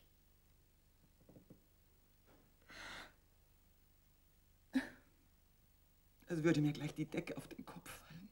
Sagen Sie etwas, irgendwas. Ich träume oft, dass mir die Decke auf den Kopf fällt. Ja, erzählen Sie. Schlimmer als das, was hier gerade vorgeht, kann es nicht sein. Da ist ein kleines Mädchen. Es ist älter als ich. Es spielt mit seinen Puppen auf dem Fußboden. Es beunruhigt mich. Und die Decke kommt immer näher.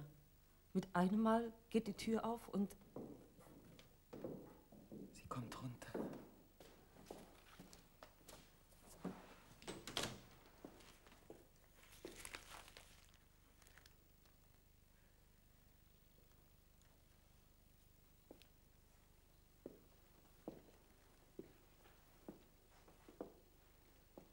Ich wollte nur gute Nacht sagen.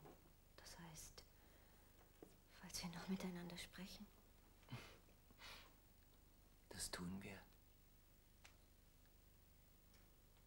Hast du ihn diesmal geöffnet?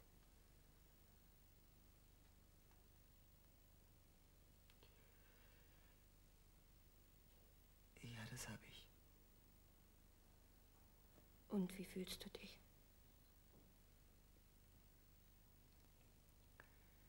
Ich fühle, dass sich eine schwere Depression ankündigt, aber ich werde es überleben. Sehr gut. Ich meine, dass du es überleben wirst. Ich werde es überleben. Du bist mir nicht böse. Nein, nicht auf der Ebene des Bewusstseins. Ich war heute Abend in der Wigmore Hall und dachte darüber nach. Wir wollen jetzt nicht darüber sprechen. Einverstanden.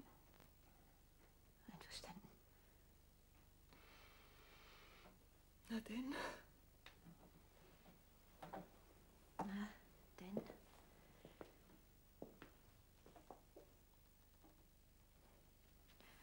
Hast du überhaupt die Absicht hinzufahren? Wohin? Nach Budapest. Nein, das kommt mir recht unwahrscheinlich vor. Aber du wärst gefahren, wenn ich mitgefahren wäre, wenn ich dich dazu gezwungen hätte. Wenn du mich dazu gezwungen hättest, dann vielleicht. Wir haben in der Nähe des Schlosses gewohnt. In einer Wohnung mit hohen Fenstern. Die Fensterläden waren fast immer geschlossen, es war immer dunkel.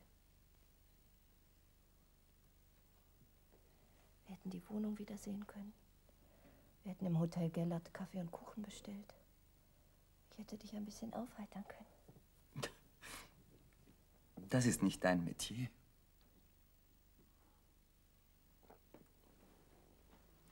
Zwei Laken, eine Decke. Wenn du ein zusätzliches Kissen brauchst, musst du es sagen. Würdest du lieber oben schlafen? Nein, die Couch genügt mir. Das Sofa. Wie bitte? Die Couch kommt nächste Woche dran, oder hast du sie etwa noch nicht gefragt? Wenn du damit andeuten willst, dass Paula meine Patientin werden möchte, dann kann ich dir verraten, dass ich mir etwas Ähnliches auch schon gedacht habe. Sie wird mich fragen, wenn der richtige Zeitpunkt gekommen sein wird. Und dann werde ich darüber nachdenken. Gute Nacht. Gute Nacht. Gute Nacht. Melita? Was ist? Dreh die Heizung nicht ab. Ich hatte es nicht vor. Nacht.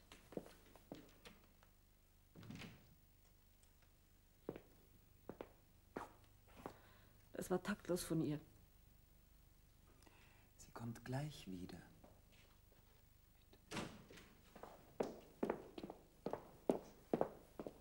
Was ist mit meinem Brief? Weißt du, wie viel Uhr es ist? Ich war die halbe Nacht unterwegs. Ich habe eine Depression. Ich trauere. Das tue ich auch. Ja, dann hör gefälligst auf, mich dauernd zu schuhriegeln. Ich brauche Zeit. Wir können beim Frühstück drüber reden. Ja, vielleicht. Wenn sie den Brief nicht lesen will, darf man sie nicht dazu zwingen. Wenn Sie? Das war taktlos. Aber sie hat behauptet, sie hätte es getan. Sie hat gesagt. Darf ich auch etwas dazu sagen? Ich habe deinen Brief geöffnet. Paula hat mir geraten, ihn nicht zu lesen. Da habe ich ihn zerrissen. Omnipotenz, zurzeit bei mir nichts Seltenes. Ich interpretierte gerade meinen Traum. Paula brachte mich zu einer sehr naheliegenden Schlussfolgerung, aber ich wollte das nicht hören. Hast ihn zerrissen. Ich wollte nichts davon hören. Gegen irgendetwas sperre ich mich. ja, das kann man wohl sagen. Aber gegen was? das kann ich dir sagen. Gut, sag's mir, ich höre. Ich gehe nach oben. Nein, Sie bleiben hier. Warum können wir das nicht unter vier Augen besprechen? Weil es diese sogenannten vier Augen in Wahrheit gar nicht gibt. Es ist immer ein Dritter dabei, mindestens ein Dritter. Die Mutter, vielleicht der Vater, vielleicht ein als Rivale empfundenes weiteres Kind. Der Raum bevölkert sich schnell. Warum nicht gleich zu dritt beginnen? So und so endet es mit vollem Haus. Also gut. Fangen wir an.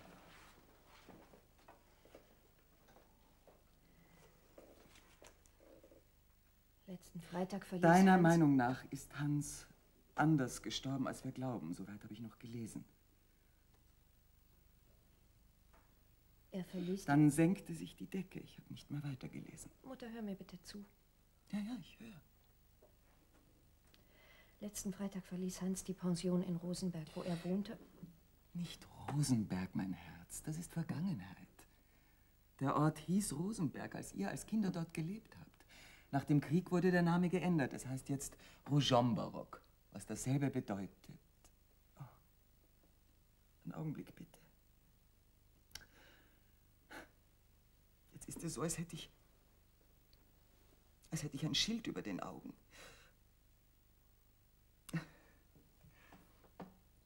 Und? Er verließ die Für dich Pension. ist es Rosenberg geblieben, weil dieser Name für frühkindliches Glücksempfinden steht, bevor all das andere geschah. Ja, meine Gegenwart bedeutete Wärme und Geborgenheit. Du warst doch fast nie da. Ich war häufig krank und der Arzt, wie damals fast alle Ärzte, verschrieb mir eine Kur nach der anderen. Ja, aber um dich hat sich deine Oma gekümmert, deine Bobba, die perfekte Hausfrau. Sie war die Vollkommenheit in Person. Solange man sie nicht zur Mutter haben musste. Mit Mit diesem Problem hatte ich zu kämpfen, aber ich habe es nicht bewältigt und wurde depressiv. Du hättest schreiben können. In meinem damaligen Zustand hätte ich dich nur depressiv gemacht. Du hast sogar meinen Geburtstag vergessen. Aha. So sieht also die gewaltige Krise aus. Ich habe deinen Geburtstag vergessen. Und das hat dich für dein ganzes Leben seelisch verkrüppelt. Allerdings. Und wenn ja, ja, und vielleicht hat sich die Katze in deine Wiege gelegt. Und deshalb kannst du heute keine Milch trinken. Ach, Melita, bitte. Das ist Vulgärpsychologie, das ist Unsinn. So denken nur Einfallspinsel. Du hast ein traumatisierendes Erlebnis gehabt, über das musst du hinwegkommen. Geh damit zu deiner Analytikerin, sie kann dir helfen. Ich halte viel von ihr. Also gut. Wo sind wir stehen geblieben? Er verließ die Pension und? Ja. Ich. Ich will dir mal was sagen, Melita. Ich ging mit dir spazieren. Zu dem Platz. Und wir beide setzten uns auf eine Bank. Du warst damals fünf oder sechs, ein schwieriges Alter. Hans war drei.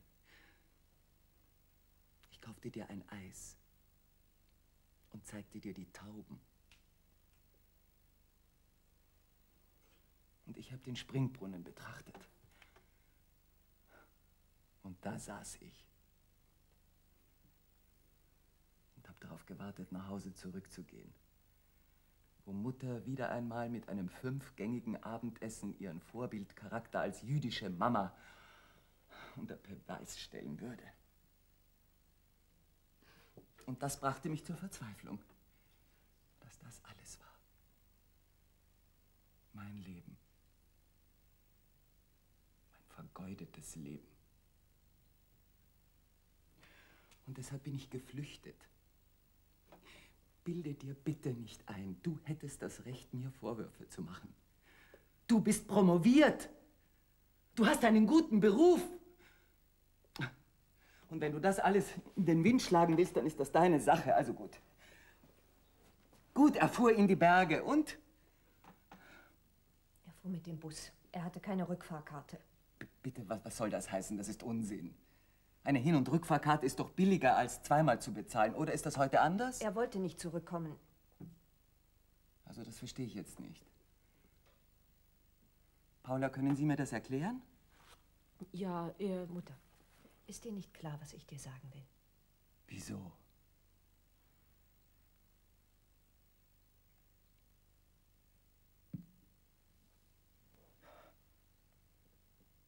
Willst du etwa sagen, er...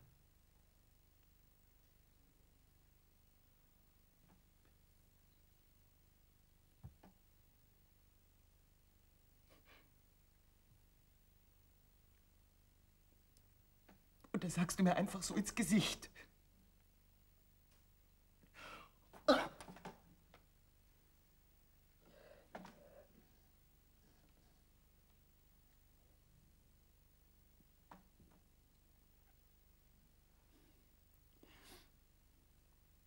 Ich kann dir versichern,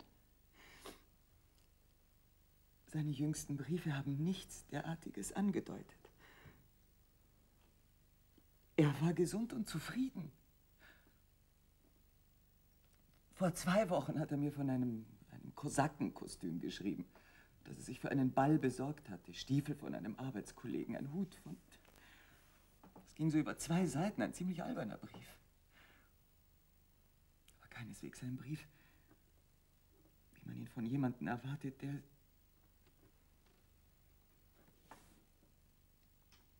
der sich das Leben nehmen will.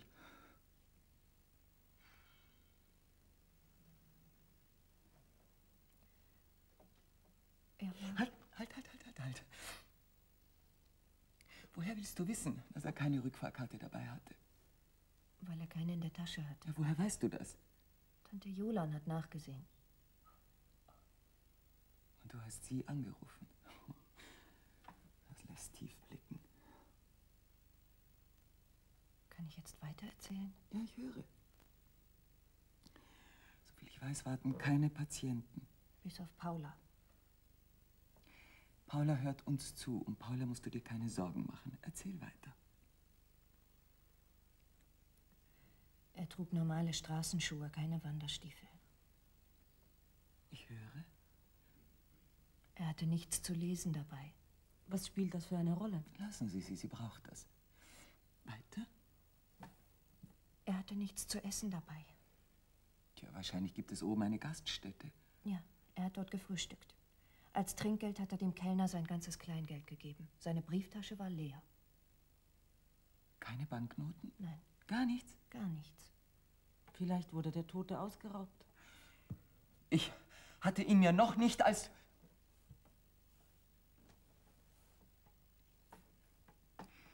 Vielleicht behalten Sie weitere Kommentare besser für sich. Also,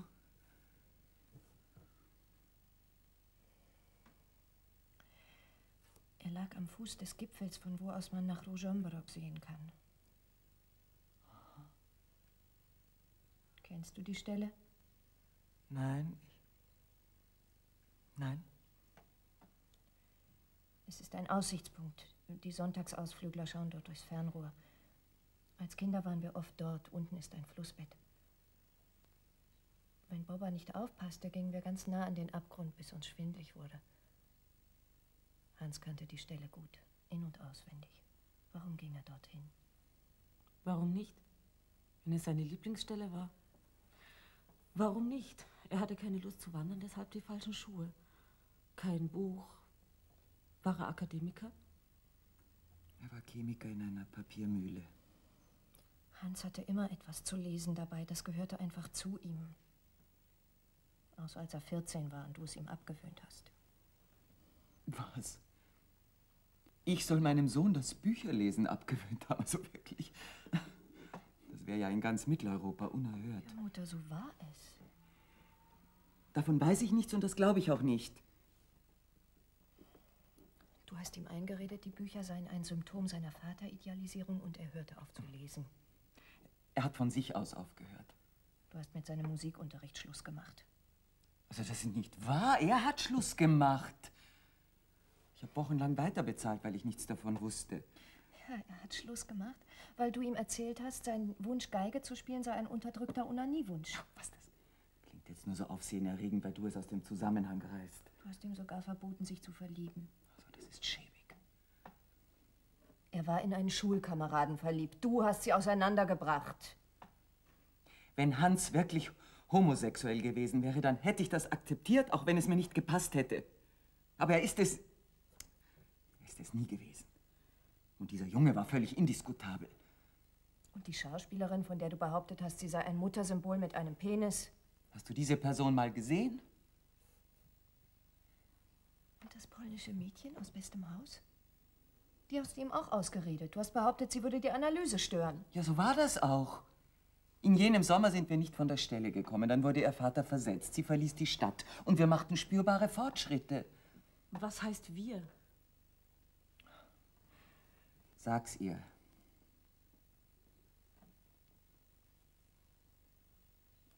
Meine Mutter hat Hans von seinem 13. bis weit in sein 16. Lebensjahr 300 Stunden lang analysiert. Wir waren ihre ersten Patienten. Sie hat uns schriftlich fixiert. Ich bin die Lisa in die Rolle der Schule für die libidinöse Entwicklung des Kindes. Wie heißt es da so schön? Sie hat bisher, sie ist inzwischen 15, eine nicht mehr als durchschnittliche Intelligenz gezeigt. Das war ich, das hat sie über mich geschrieben. Ich hielt es für wichtig, distanziert zu bleiben. Aber Mutter, Ja, ich weiß. Sie war ihre Tochter. Ja, ich lag da und versuchte mir zurechtzulegen, was ich sagen sollte. Ich versuchte krampfhaft irgendwas zu finden, was so banal, so gewöhnlich war, dass sie es nicht interpretieren konnte. Geschichtsunterricht. Worum geht es in der Geschichte? fragte sie mich dann in ihrem Analytikerton. Das musst du dir mal vorstellen. Meine Mutter im Analytikerton.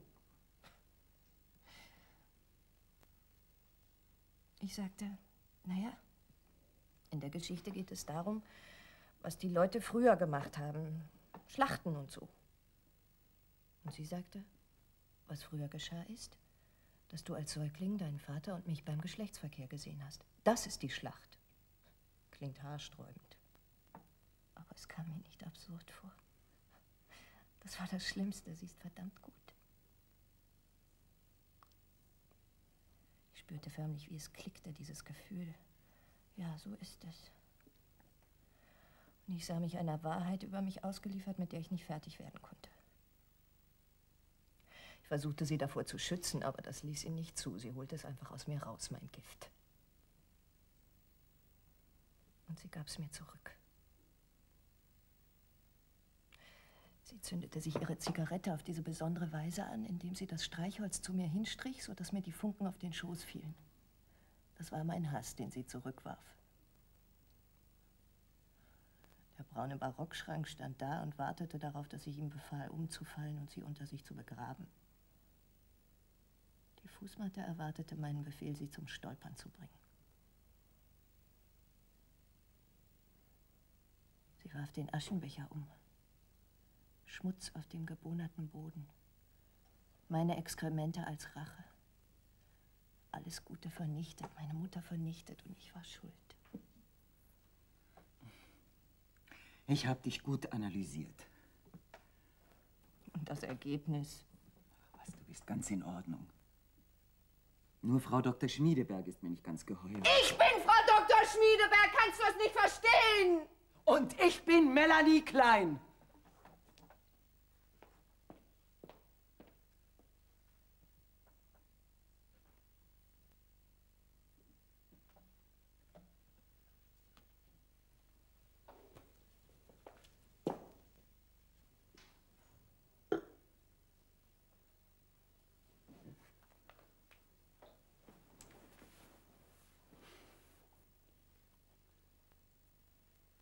Was ist jetzt mit Hans? Wird er jetzt woanders begraben?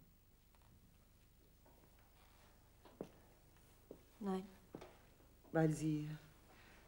Niemand weiß, was passiert ist. Nur wir. Ein Glück.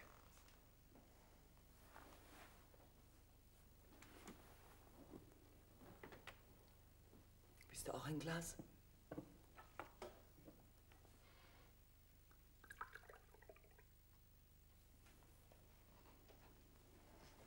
Keiner von uns will wissen, warum ein gesunder, halbwegs ausgeglichener Mann von 27 Jahren auf die Idee kommt. Paula, ich darf Ihnen auch nachschenken. Du bist zu defensiv. Ich bin zu erschrocken. Nein. Nein, das bin ich nicht. Keiner von uns Doch. weiß, ob er. Das wissen wir. Er hat keinen Abschiedsbrief hinterlassen. Oh doch. Allerdings unbewusst, nehme ich an. Eine Botschaft für mich. Er hat eine Stelle ausgesucht, von wo aus man über das Tal nach Rougembarock blicken kann. Rosenberg, der rosige Berg. Die Mutterbrust. Wenn das nichts zu bedeuten hat. Sie können nichts dafür. Ich will nicht, dass Sie mich beruhigen. Vielleicht steckte er in Schwierigkeiten. Vielleicht war er krank. Wenn man krank ist, kann man immer noch Hoffnung haben oder ganz normal in seinem Bett sterben. Wenn man Schwierigkeiten hat, kann man das Land verlassen oder ins Gefängnis gehen. Es gibt tausend Möglichkeiten. Wofür man sich entscheidet, hängt von der unbewussten inneren Haltung des Individuums ab. Und die wurzelt tief. Sie entsteht in frühester Kindheit. Als Hans ein Säugling war. Hm? Was hat da sein Ich vorrangig beschäftigt? Die Mutterbrust. Die Brust, auf die das Kind alle Wärme und Geborgenheit projiziert, die es empfindet, die gute Brust. Und das Gegenteil. Wenn das Kind wütend ist oder Neid empfindet, das ist die Brust, die es in seinem Primitivbewusstsein angreifen will, auf der es herumtrampeln, die es vernichten will, auf die es seinen mörderischen Hass projiziert. Ich sage projiziert. Ja. Und so kommt es, dass die Brust als bedrohlich erscheint, rachsüchtig, hasserfüllt, unbarmherzig grausam. Die schlechte Brust. Und der Prototyp adulter Ängste und Schrecknisse. Noch etwas Wein, Paula? Nicht, dass ich Sie schulmeistern will, meine Liebe, aber Sie nützen Ihren neurotischen Patienten nicht sehr viel. Solange Sie sie nicht bei der Hand nehmen und in diesen primitiven Dschungel zurückführen. Er ist so fremdartig und unwegsam, wie es ein Dschungel nur sein kann. Aber unendlich fruchtbar. Ja, Sie können das. Sie haben ein Kind bekommen. Sie hat Schwierigkeiten in dem Bereich. Nein, nein, ich kann das ruhig sagen. Sie weiß, wie ich darüber denke. Und dann, wenn der Säugling sie wiedererkennt, ereignet sich etwas Neues. Für ihn beginnt der größte Kampf des Menschenlebens. Er erkennt seine Mutter als Person. Als ganze einheitliche Person. Gut und schlecht in einem. Die Person, die er in seiner Fantasie gequält hat, ist der Mensch, den er liebt. Daraus entwickeln sich die ersten Schuldgefühle. Und das führt zu bodenloser Depression. Und aus dieser Depression muss er sich herausarbeiten, um ein gesunder Erwachsener zu werden. Das ist harte Arbeit. Das schmerzt, ja. Zu erkennen, was wir demjenigen angetan haben, den wir lieben. Das schmerzt. Das schmerzt, das schmerzt. Das schmerzt. Nein, nein, nein, nein. Trink nicht. Hm. Da. Ein Stückchen Korken. So. Jetzt ist es weg. Jetzt weinst du. Du wolltest der bösen Mutter wehtun. Hm? Und jetzt stellst du fest, dass sie auch die gute, liebevolle Mutter ist.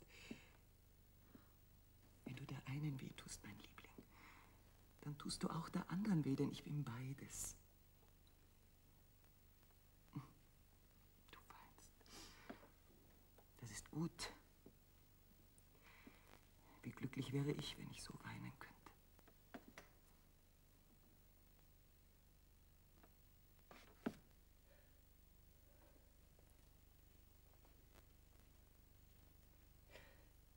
Das ist nicht wahr. Es gibt schlechte Mütter. Mütter, die nur schlecht sind, sonst nichts. So eine bist du. Du hast uns nie geliebt. Du hast dich nur für uns interessiert, weiter nichts. Aber wir haben dich geliebt. Er hat dich so wahnsinnig geliebt und du hast seine Liebe nie anerkannt. Du hast sie dir angeeignet. Alles hatte von dir auszugehen. Alles, was wir hatten, alles, was wir taten, alles, was wir wollten. Du hast uns suggeriert, es wäre gar nicht vorhanden oder wir würden es gar nicht wollen. Du hast die Entscheidungen für uns getroffen, in allem. Beim Kleiderkauf, im Spielzeugladen, bei meiner Promotion. Habe ich dir auch deinen Mann ausgesucht? Das war Kompensation. Allerdings. Ich war zwanghaft abhängig von dir! Und hast gedacht, so könntest du dich befreien? Ich habe mich befreit, ob du es glaubst oder nicht. Was für ein Desaster, dieser Mann, ein Trinker, ein Hanswurst. Du bist von einer Abhängigkeit in die nächste geflüchtet. Und das wird sich nicht ändern, solange du ein Opfer deiner unbewältigten Ambivalenz mir gegenüber bleibst. Also bewältige sie gefälligst. Ich kann dir das nicht abnehmen. Keiner kann das. Das musst du tun, also tu es. Oder es bleibt dir nur der Selbstmord. Der tatsächliche, wie bei Hans. Oder der symbolische, dem du zurzeit frönst. Aber ich will nicht noch ein Kind verlieren. Ach, hilf mir doch, mein Herz. Vergiss das Institut, vergiss die Streitereien und die Sitzungen. Das, das ist der Alltag. Heute bist du bei mir. Wir sind Mutter und Tochter. Und ich frage dich, Melita, Mädchen, mein Schätzchen, warum können wir nicht eine erwachsene, vernünftige Freundschaft zwischen Mutter und Tochter eingehen? Weil du das nicht willst. Ja, womit verhindere ich es denn? Was willst du? Oder hast du kein Vertrauen zu mir? Nein. Sehr gut. Ja, jetzt haben wir etwas, wovon wir ausgehen können. Stell mich auf die Probe. Versuch's doch. Ich weiß nicht, was ich dazu sagen soll. Lass dir Zeit, ja? Entspann dich, dann kannst du frei assoziieren. We- Wenn du dich nicht entspannen kannst, das macht nichts, dann lass das. Ich fahre nächste Woche nach Glyndebourne. Ich höre. Sie spielen Cosi. Ich habe die letzten zwei Karten bekommen. Ich wollte mit Walter hinfahren, jetzt bist du zurückgekommen, aber ich beabsichtige noch immer mit Walter zu fahren. Sehr gut, es wird ihm sicher gefallen. In der Küchenschublade sind sechs Kaffeelöffel, die eigentlich Ja, mir sie gehören. dir. Paula, meine Liebe, es tut mir leid, das ist sicher langweilig für Sie. Ich habe mir ein Speiseservice gekauft, das ich selbst ausgesucht habe. Lucy Cooper mit Tupfen. Ich wette, dass du es scheußlich findest. Bitte, Melita, komm jetzt nicht mit Oberflächlichkeiten. Seit wann sind wir beide emotional in der Porzellanabteilung zu Hause? Du sperrst dich gegen etwas. Was ist es? Im Kofferraum ist eine Decke. Sie gehört mir. Ich will sie zurückhaben. Du sagst Decke, aber du meinst nicht Decke. Ich will das Auto haben. Ich will Sunny.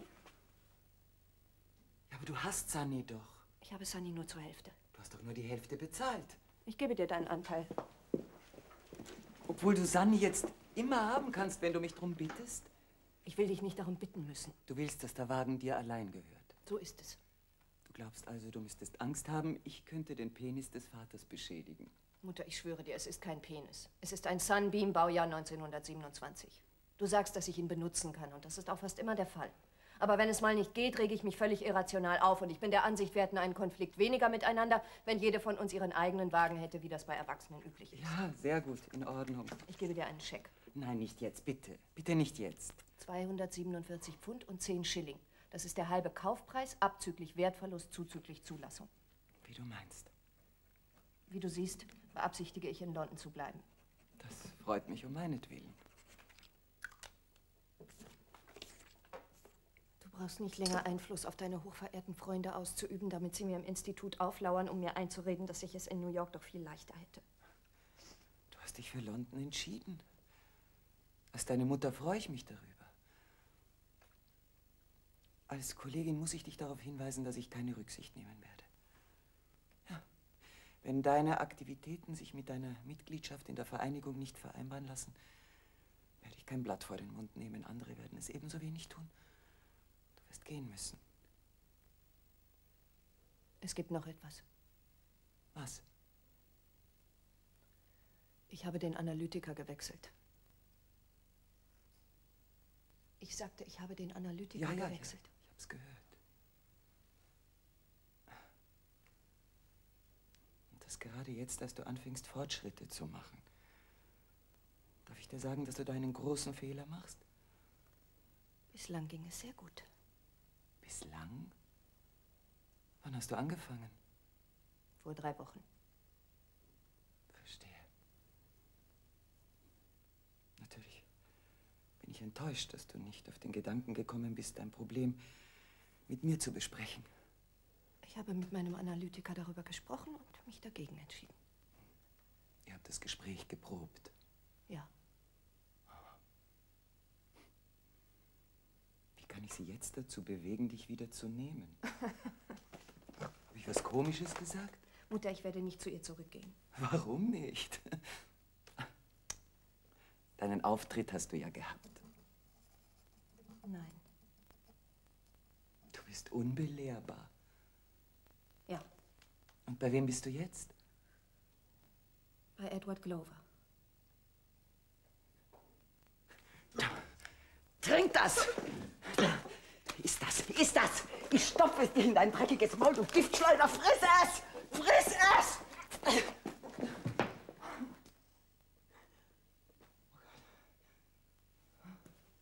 Melita, Lass mich in Ruhe, alle beide!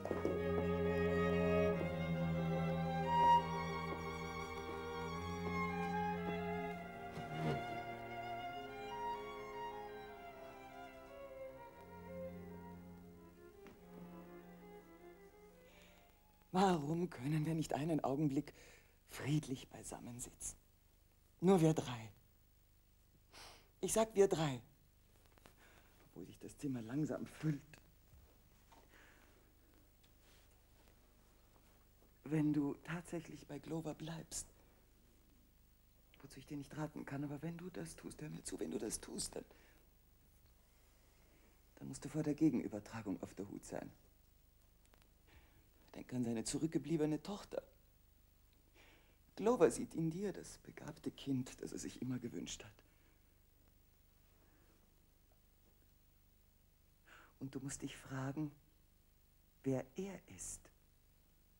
Für dich. Denk darüber nach. Was kann ich dir sagen? Es waren drei gute Wochen. Ich sehe in ihm den Vater, den du verraten hast. Das ist deine Sicht. Jetzt verrate ich dir, warum er sich gegen mich stellt. Er betrachtet mich als die wankelmütige Mutter, die den wunderbaren Vater Freud verwirft. Vielleicht hat er recht. Melita ist für mich meine tote Schwester. Ja, das ist uns bekannt. Und außerdem ist sie sie, die ungeliebte Tochter. Für wen stand Melita, als Sie sie in symbolische Urine tränken wollten? Oh, wenn ich das nur wüsste. Paula, bitte. Dabei habe ich deine Oma, die Bobba, wirklich geliebt. Ich weiß nicht, warum sie mir so auf die Nerven ging. Sie war schließlich nur eine typische mitteleuropäische jüdische Mutter, die ihre Familie herumkommandiert hat. Es gibt schließlich Schlimmeres. Hoffe ich. Hans hat sich das Leben genommen, weil er es nicht über sich bringen konnte, dich zu hassen. Und du? Du kannst es. Ich kann es. Und ich tue es. Weil du meinst, dass ich Hans umgebracht habe. Er hat dich umgebracht. Er hat dich in sich umgebracht. Du willst also behaupten, dass du mich schlicht und einfach hasst. Erzähl, das interessiert mich. Ja. Und doch sitzen wir hier und reden miteinander.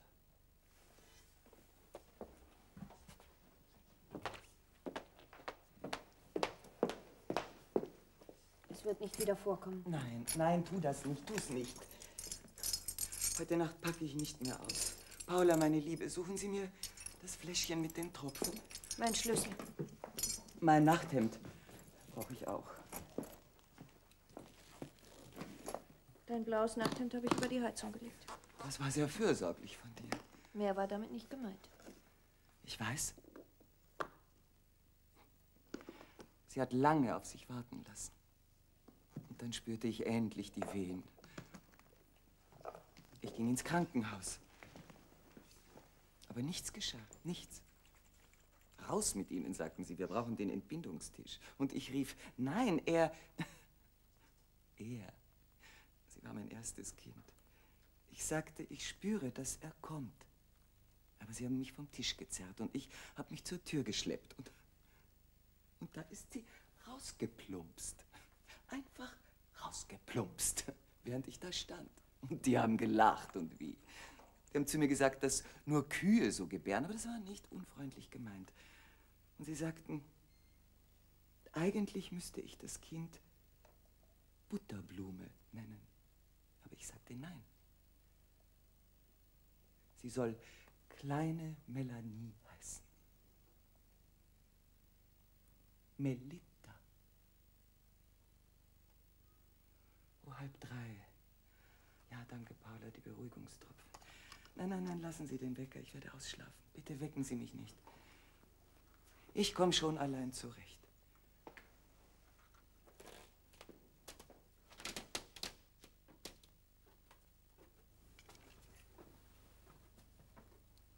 Wie fühlst du dich jetzt?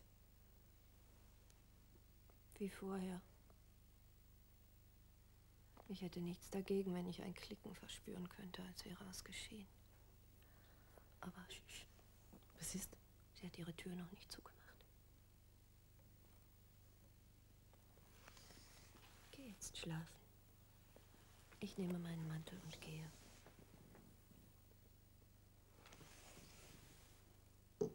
Wann fängst du an? Ich meine, bei ihr? Sie hat noch nicht Ja gesagt. Das wird sie schon noch tun. Ich brauche sie. Ich brauche sie in so vielen Dingen. ich weiß. Ich hab's gleich gewusst. Als ich dich am Schreibtisch sitzen sah, da wusste ich's.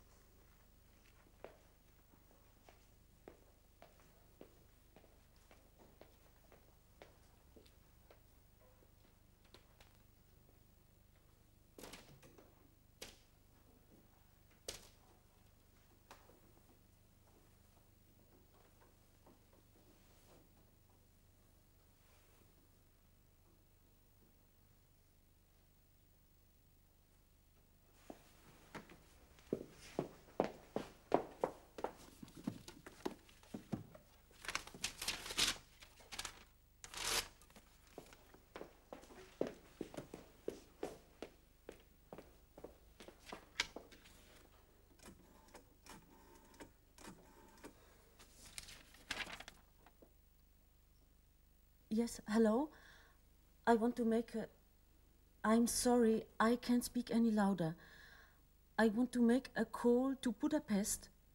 Yes, 92435.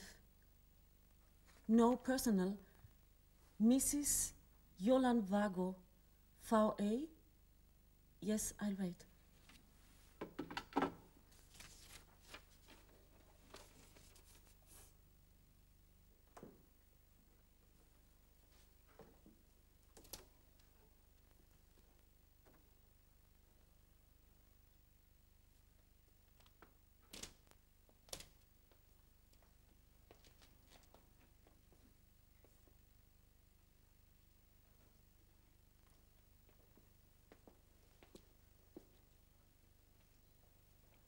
Noch nicht im Bett. Nein. Oh, du hast deinen Schlüssel vergessen. Ich habe ihn zurückgegeben. Sie hat ihn aber liegen gelassen. Das tut sie immer.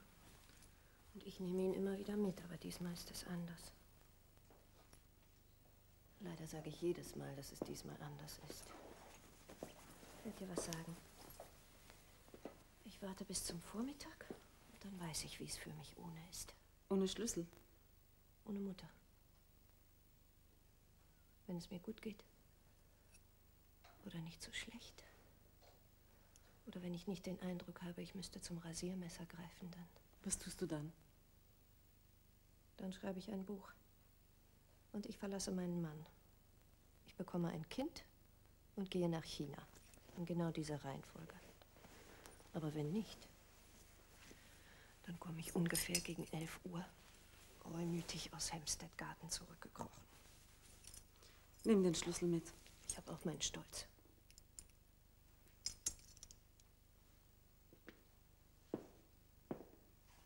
Ich habe schließlich auch meinen Stolz.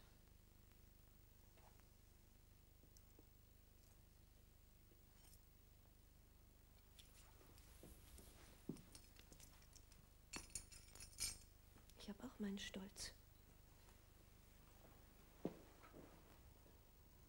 Du schaust ja dauernd aufs Telefon.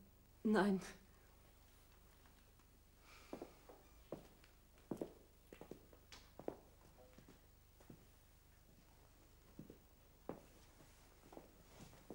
Gute Nacht. Gute Nacht.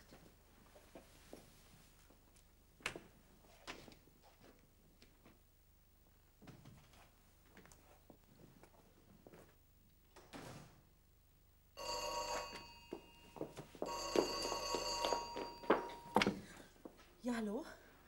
Frau Vago? Entschuldigen Sie, dass ich Sie, dass ich Sie geweckt habe. Ich rufe aus London an. Ich bin eine alte Freundin von Mrs. Klein. Nein, das ist sie nicht. Sie hat mich gebeten, Sie anzurufen und zu sagen, dass es ihr sehr leid tut, aber dass sie nicht kommen kann. Nein, sie ist nicht krank. Ja, sehr. Ja, sicher, Frau Vago, das werde ich tun. Und ich wollte Sie etwas. Eine alte Freundin aus Berlin, ja. Ich wollte Sie etwas sehr Wichtiges fragen. Es geht um Hans.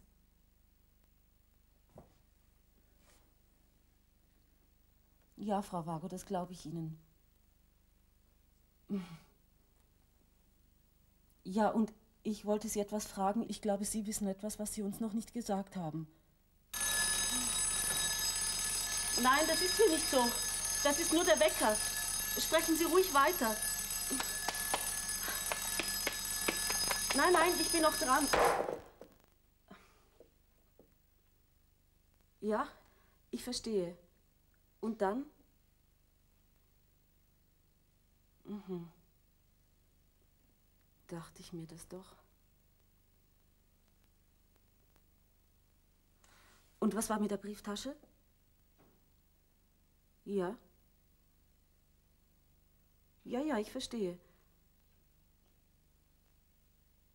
Nein, das wird sie nicht. Nein, sie wird sehr erleichtert sein. Sie müssen verstehen, sie dachte, er hätte... Ja, ich weiß.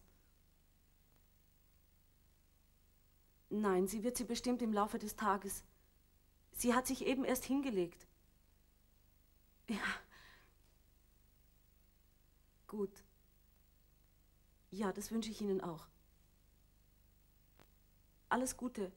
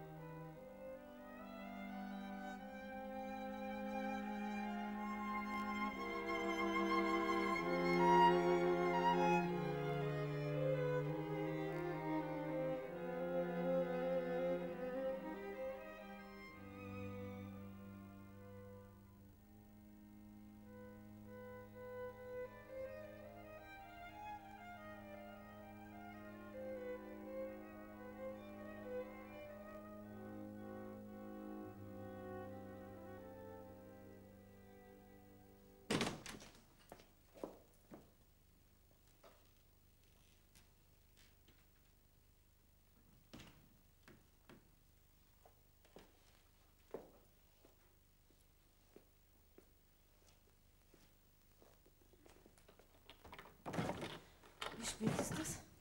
Nicht einmal 11 Uhr. Schlafen Sie weiter. Ich kann nicht schlafen. Gut. Dann stört Sie es nicht, wenn ich die Vorhänge aufziehe. Bleiben Sie ruhig liegen.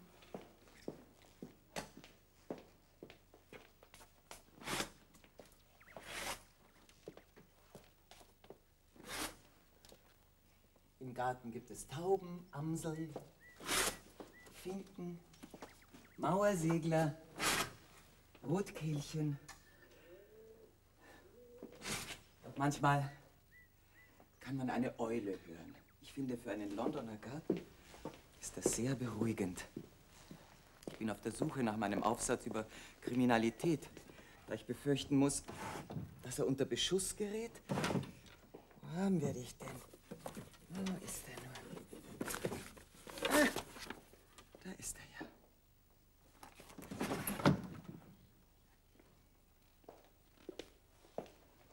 Paula?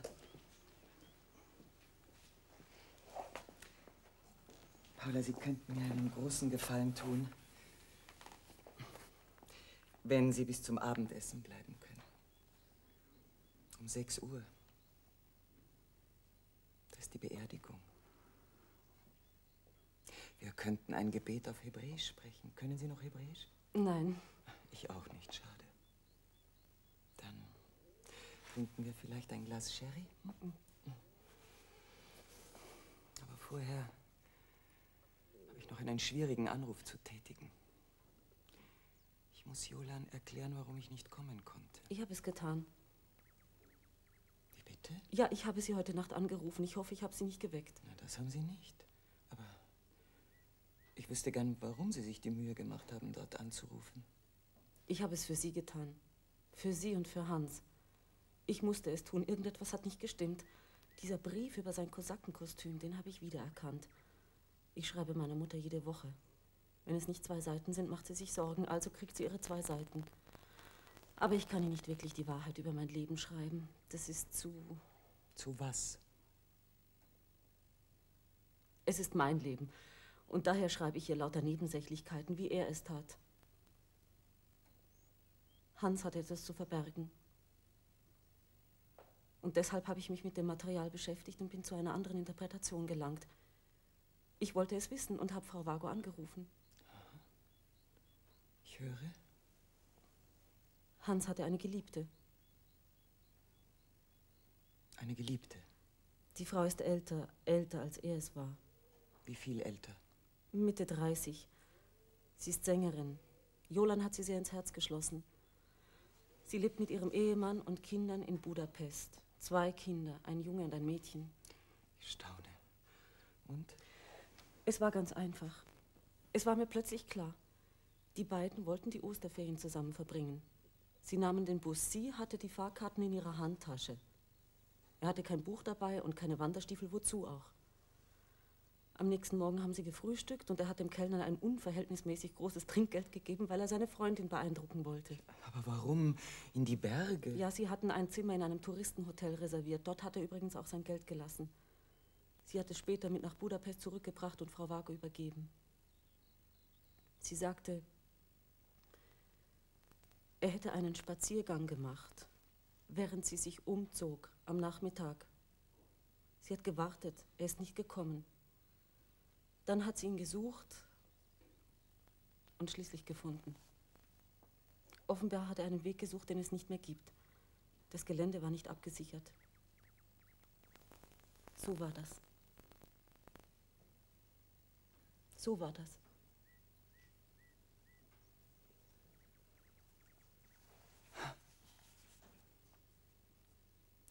Interessant ist, dass ich vor allem Entrüstung empfinde. Weniger gegen Sie, Sie haben es gut gemeint. Aber diese Person. Wie heißt sie überhaupt? Wer ist sie? Das weiß ich nicht. Sängerin? Ja, Opernsängerin? Kabarett? das habe ich Frau Wago nicht gefragt. Und hatten die beiden ein. Ach ja. Am Nachmittag, Sie hatten es ja gesagt.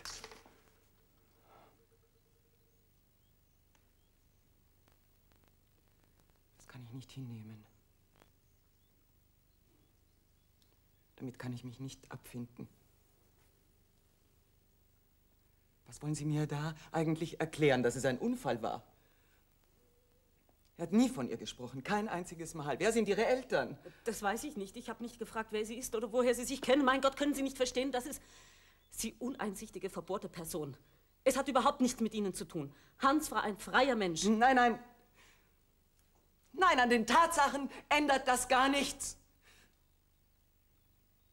Oh mein Gott. Oh my God! Oh mein Gott. Mein Sohn.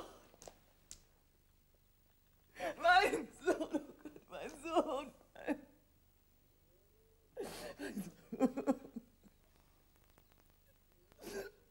Mein Sohn.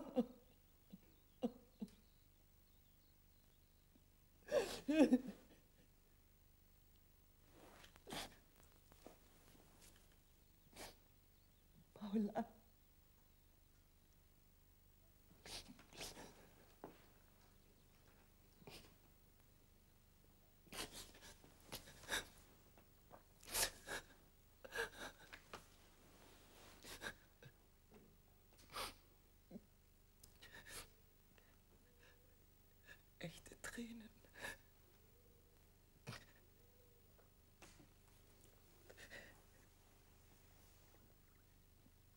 Verweigerung schwindet merklich. Ja. Langsam. Langsam wird es besser.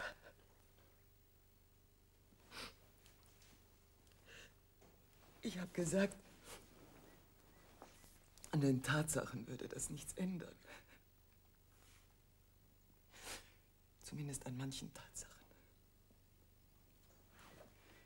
Mein Schuldgefühl bleibt bestehen. Und mein Wunsch nach Wiedergutmachung.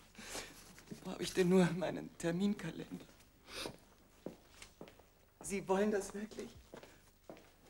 Ja, das will ich. Sind Sie sich ganz sicher? Ja, das bin ich.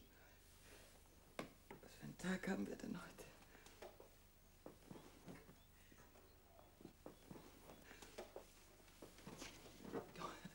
Die Decke zieht sich zurück. Ja, mir ist leichter zumute, unbeschwert. Wie Sie wissen, werden Tränen auf der unbewussten Ebene oft mit Ausscheidungen gleichgesetzt. Durch die Tränen kann der Trauernde die Spannung lösen, indem er abgelehnte Objekte nach außen schafft. Sie kennen meine Konditionen? Ja, das tue ich. Sie bewegen sich in üblicher Höhe. Sie müssen wissen, ob meine Zeit Ihnen das wert ist oder Ihre. Ja, ich weiß. Gut. Äh, ich könnte Montag, Mittwoch, Freitag, Samstag, jeweils um 11 Uhr. Sagen Sie mir, ob ich das eintragen soll? 11 Uhr? Das passt mir sehr gut. Gut. Wir sind schon spät dran. Verzeihung? Heute ist Samstag. Sehen Sie auf die Uhr. Wir sind fünf Minuten zu spät dran. Mein Sprechzimmer ist abgesperrt und im ersten Stock. Wir können doch hier bleiben. Ich kann heute nicht. Bin zu Tode erschöpft heute nicht, nein. Bitte, Mrs. Klein. Ich verstehe. Gut. Aber ab Montag müssen wir es richtig machen.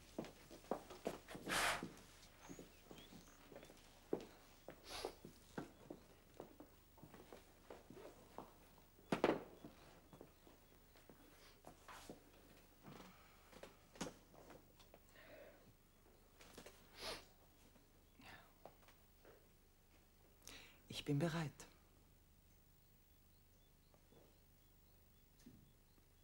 Hoffentlich läutet niemand an der Türe. Sie befürchten, ich könnte Sie verlassen, wenn jemand läutet. Nein, ich weiß, dass Sie das nicht tun. Sie haben es mir gestern selbst gesagt. Sie haben gesagt, dass alles andere warten muss.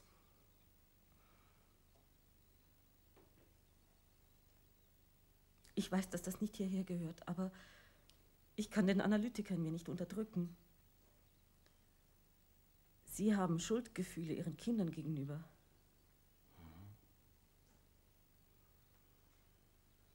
Sie sehen, was Sie angerichtet haben. Sprechen Sie weiter. Sie wollen es wieder gut machen. Aber für einen der beiden ist es zu spät.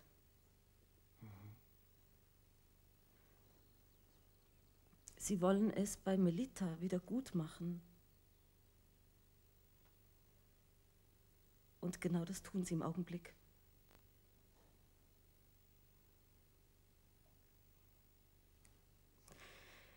Ich wünschte mir so sehr, dass Sie darauf antworten. Sie hatten Angst, ich hätte Sie verlassen. Nein. Ich. Ich hatte ein Gefühl von Geborgenheit. Sie haben. Sie haben vielleicht das Gefühl, an Melitas Stadt die Rolle meiner Tochter eingenommen zu haben. Ja, das habe ich.